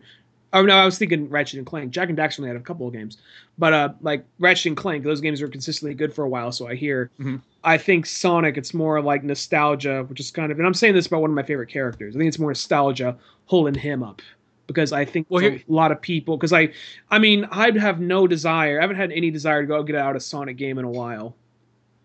Well, I'll say this: When was the last time you saw somebody walking around with Jak and Daxter merchandise? Exactly. And I don't see Ratchet and Clank merchandise. Now, those are well received games that people liked, but I'm saying Sonic, well, plus Sonic was literally, he is a weird combination. He comes from Japan, but he was literally something by Japan made for Americans. He was like test marketed, test grouped. Japan came up with concepts for him. America came up with concepts for him. They pitched it back and forth and landed on what he is and that's like how we have him now. So he was literally this thing that was like group focused to death until they came up with the end product. Yeah, no, he was totally made to be like the perfect. That's he's like made to be like such marketable material because he looks so fucking badass. He's such a cool character. Everything about his environment's really good too. So even if his games aren't up to par, he still like is very like intriguing looking. And I think that Sonic Mania one might be the good comeback game for him. I know it's kind of But still what's right. it what's it doing though? It's going back to the same. Get me wrong. I mean, that's like the first time in a while I'm really intrigued to get a Sonic game. So Well, it's like I think what the because like I personally I know a lot of people did not like the Sonic Boom game, and I actually thought that as far as a Sonic game, that was one of the best playing 3D ones. Like I didn't watch the TV show or anything like that, but I was actually really impressed on how well that game played. I think what they just kind of need to do with Sonic is they just if they're gonna do 3D, they just need to add in sort of like all the elements that why you like Sonic in there and just kind of almost make him a little bit more adult. Not like adult, like in a sense, like he's Sonic the Hedgehog and it's a mature rated game now. But no, like more just the fact, ma- the only way he can get fast if he does a lot of speed. yeah, just make it more like in a sense how like Ratchet and Clank and Jak and Daxter sort of did, how they age with their audience. I felt like Sonic actually went backwards sometimes. Well, Like- there he'll be. He'd like jump. It's like well, it was lack of consistency. He would jump forward. It would be a really. I, I would like it would be one of like the ga- the games kept on changing, and then one game would be like.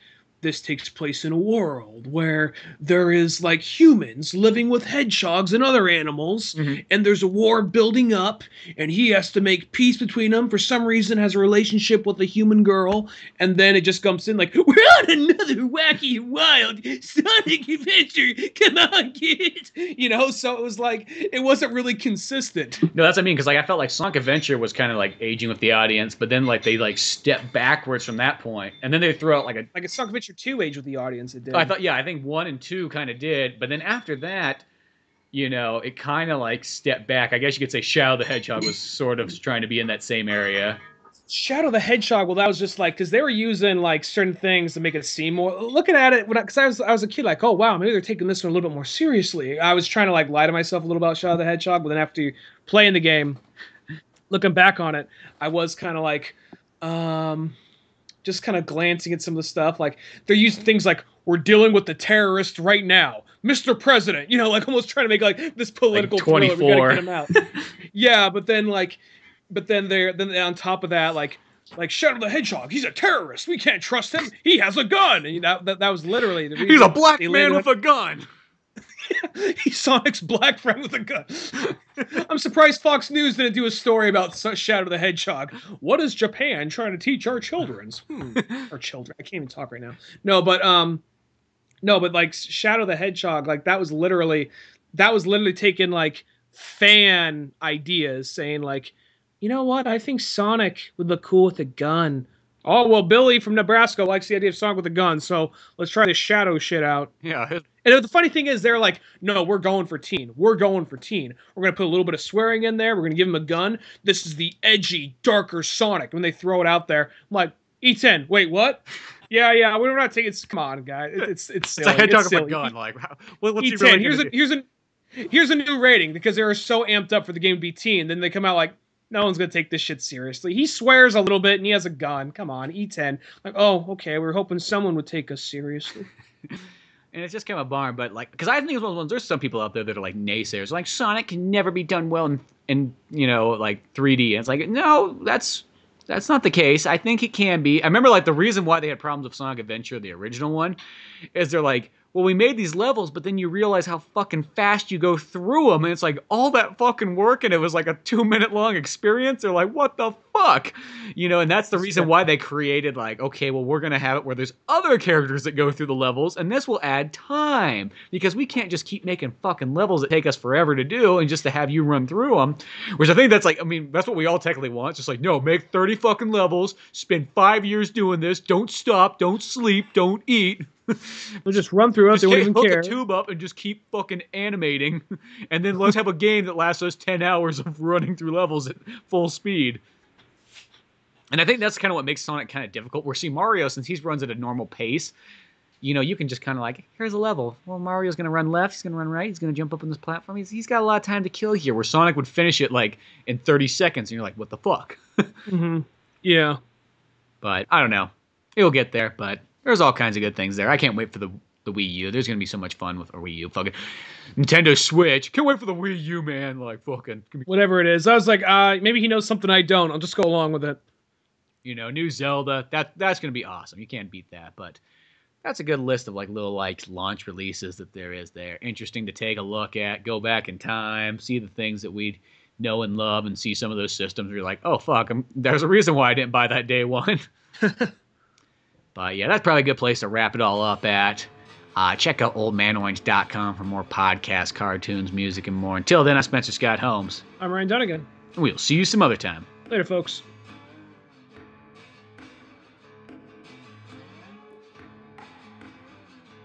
Thanks for listening to the Old Man Orange podcast. Check out our website at oldmanorange.com for even more podcasts, cartoons, videos, music, and more. Send us an email at oldmanorangepodcast at yahoo.com. Be sure to subscribe, share, rate, and review us on iTunes, Podomatic, or any of the other fine sites we might be located on. And if you want to help out even more, click on the Amazon or GameStop links on our webpage before you make any purchases there. Won't cost you a penny, but it sends us a little something our way.